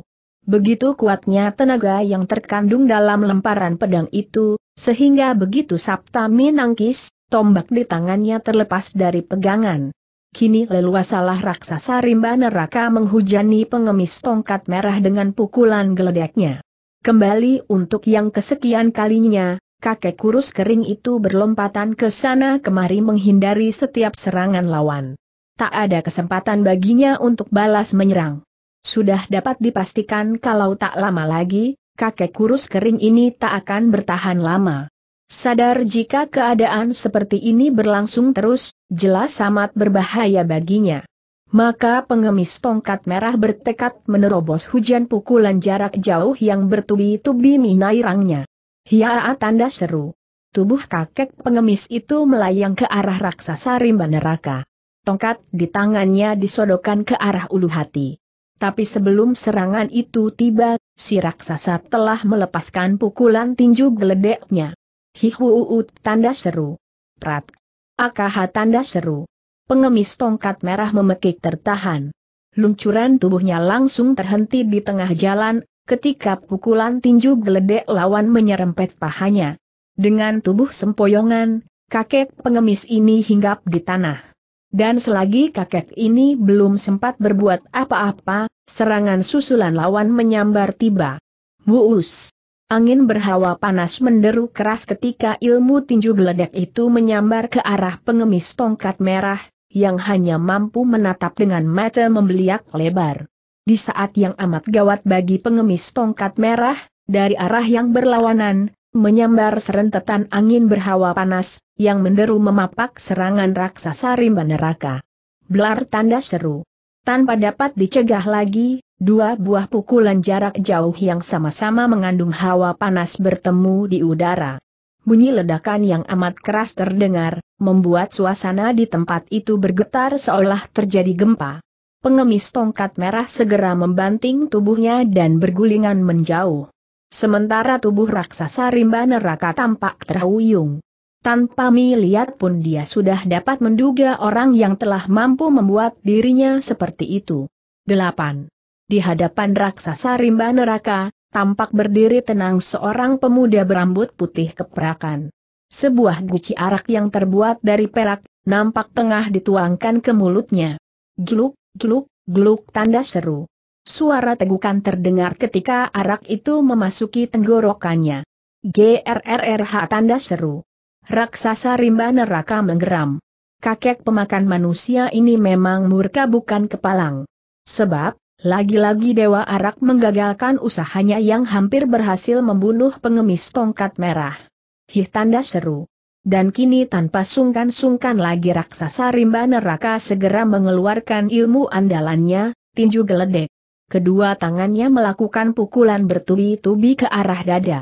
Setiap gerakan tangannya menimbulkan suara mi ledak-ledak bagai geledek. Tapi berkat jurus delapan langkah belalang, Dewa Arak tidak mengalami kesulitan menghindari serangan itu. Dengan gerakan terhuyung-huyung seperti akan jatuh, Arya berkelit. Maka, setiap serangan raksasa rimba neraka kandas dan mengenai tempat kosong. Yang lebih hebat lagi, begitu mengelak, Dewa Arak langsung berbalik mengancam lawan. Satu keistimewaan jurus delapan langkah belalang. Sementara itu, Begitu melihat raksasa rimba neraka telah mendapat lawan, Sabta dan kami tidak mau membuang-buang waktu lagi. Mereka cepat-cepat menerjang musuh besar masing-masing. Sabta menerjang toga, sedangkan kami menerjang gajula. Sementara pengemis tongkat merah dan kantara menghadapi pengeroyokan anak buah toga. Sabta kini telah menggenggam kembali tombak pendeknya yang tadi terlepas dari pegangan. Dengan senjata itu diterjangnya toga penuh kemarahan. Tombak pendek di tangannya berputaran, menimbulkan suara angin menderu-deru. Toga yang telah mengetahui kelihayan pemuda putra Ki Panjar ini, tidak mau bertindak gegabah. Maka, segera dicabut goloknya. Dalam hati, Kepala desa Gebang ini memaki-maki Dewa Arak yang untuk kesekian kalinya mengacau urusannya. Terangguk tanda seru. Terangguk. Dua kali berturut-turut Toga menangkis serangan Sabta. Dan akibatnya, sekujur tangannya terasa bergetar hebat. Sadarlah si kumis melintang ini kalau tenaga dalam yang dimilikinya masih di bawah Sabta. Walaupun waktu itu, Toga sudah merasakan sendiri kehebatan tenaga dalam pemuda di hadapannya ini, tapi rasa penasaran membuatnya mencoba mengadu tenaga kembali. Wut tanda seru. Kembali serangan susulan tombak pendek Sabta menyambar deras. Tombak itu berputaran sejenak, sebelum membabat leher. Melihat serangan ini, Toga kebingungan.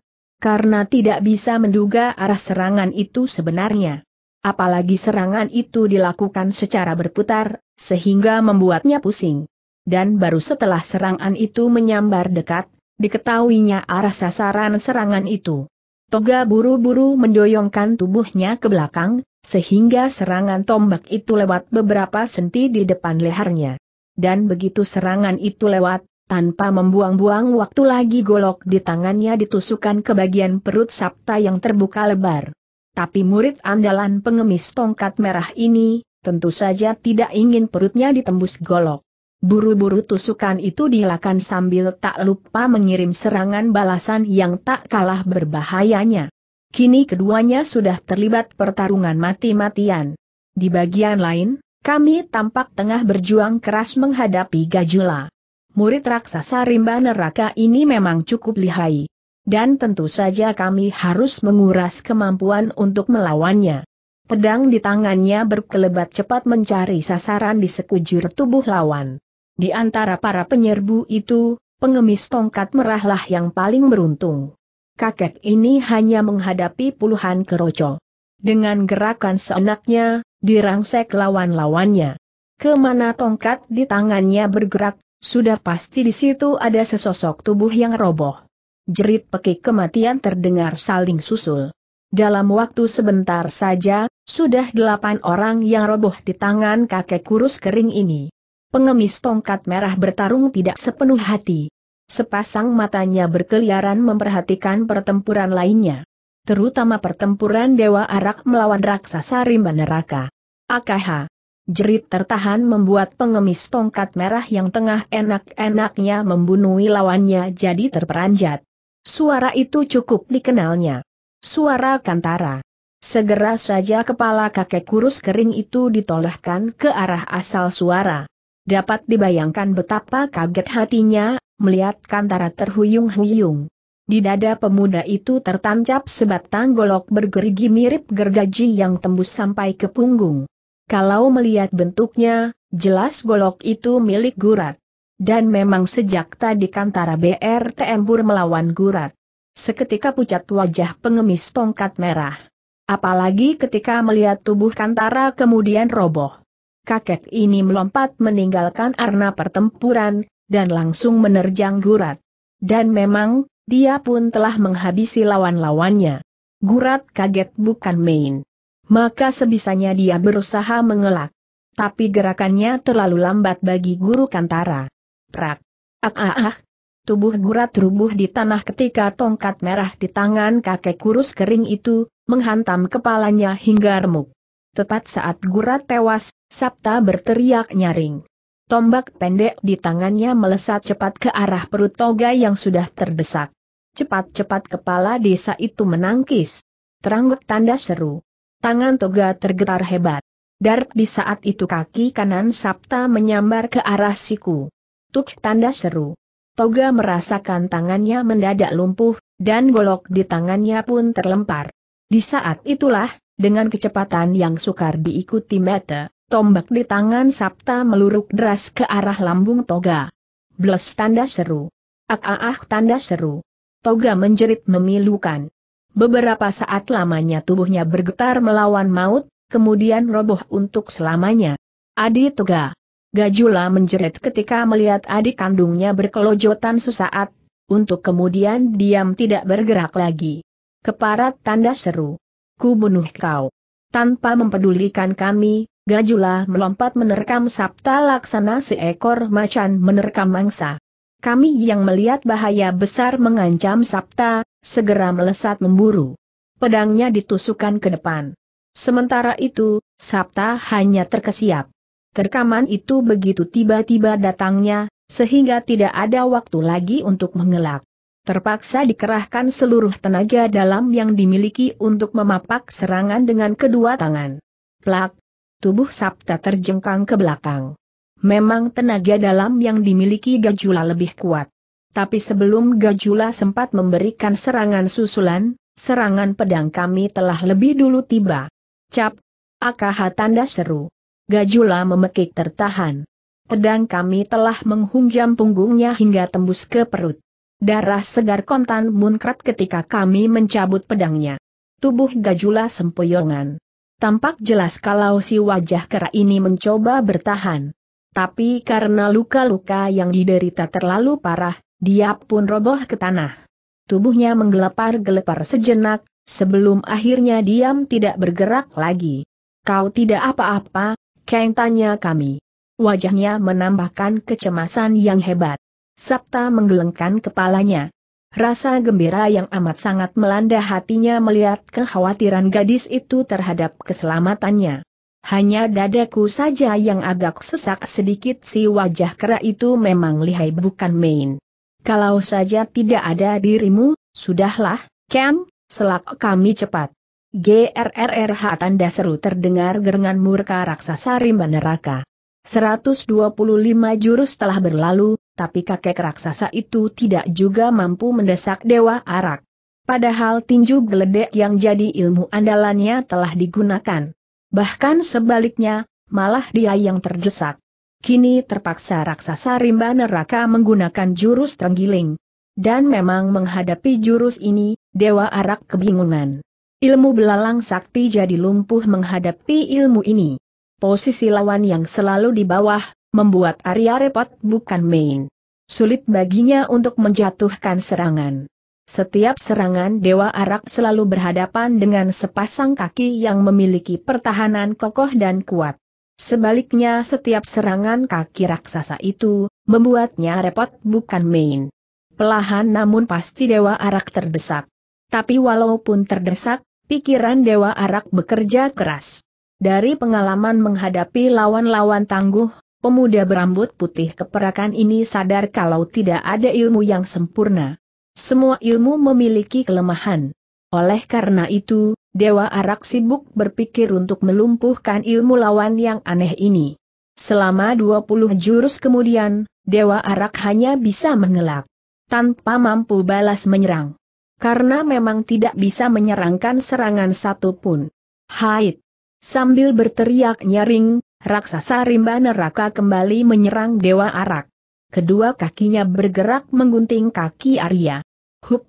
Dewa Arak melompat ke belakang. Sehingga guntingan kedua kaki raksasa itu mengenai tempat kosong. Dan begitu tubuhnya berada di udara, Arya menghentakkan kedua tangannya. Dengan jurus pukulan belalang dari tenaga dalam inti matahari yang jarang dipergunakan, Arya mengirimkan serangan. Wuus! Belar tanda seru. Pukulan itu menghantam tanah tempat raksasa rimba neraka tadi berada. Namun demikian, Dewa Arak terus mencecar raksasa itu dengan jurus pukulan belalangnya, sehingga lawannya hanya bisa berguling-gulingan menghindari serangan yang dahsyat itu. Serentetan angin pukulan berhawa panas, menyambar deras ke arah raksasa rimba neraka. Kakek raksasa ini kaget bukan main. Cepat-cepat dilentingkan tubuhnya, kemudian berguling-guling menjauh.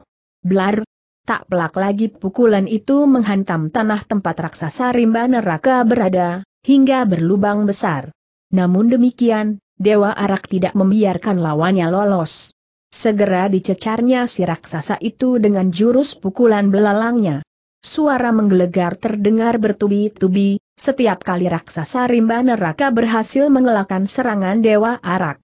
Kini keadaan jadi berbalik, karena raksasa rimba neraka tidak memperoleh kesempatan membalas. Kakek bertubuh raksasa itu menggeram. Disadari kalau keadaan seperti ini berlangsung terus-menerus, dia akan tewas di tangan lawannya.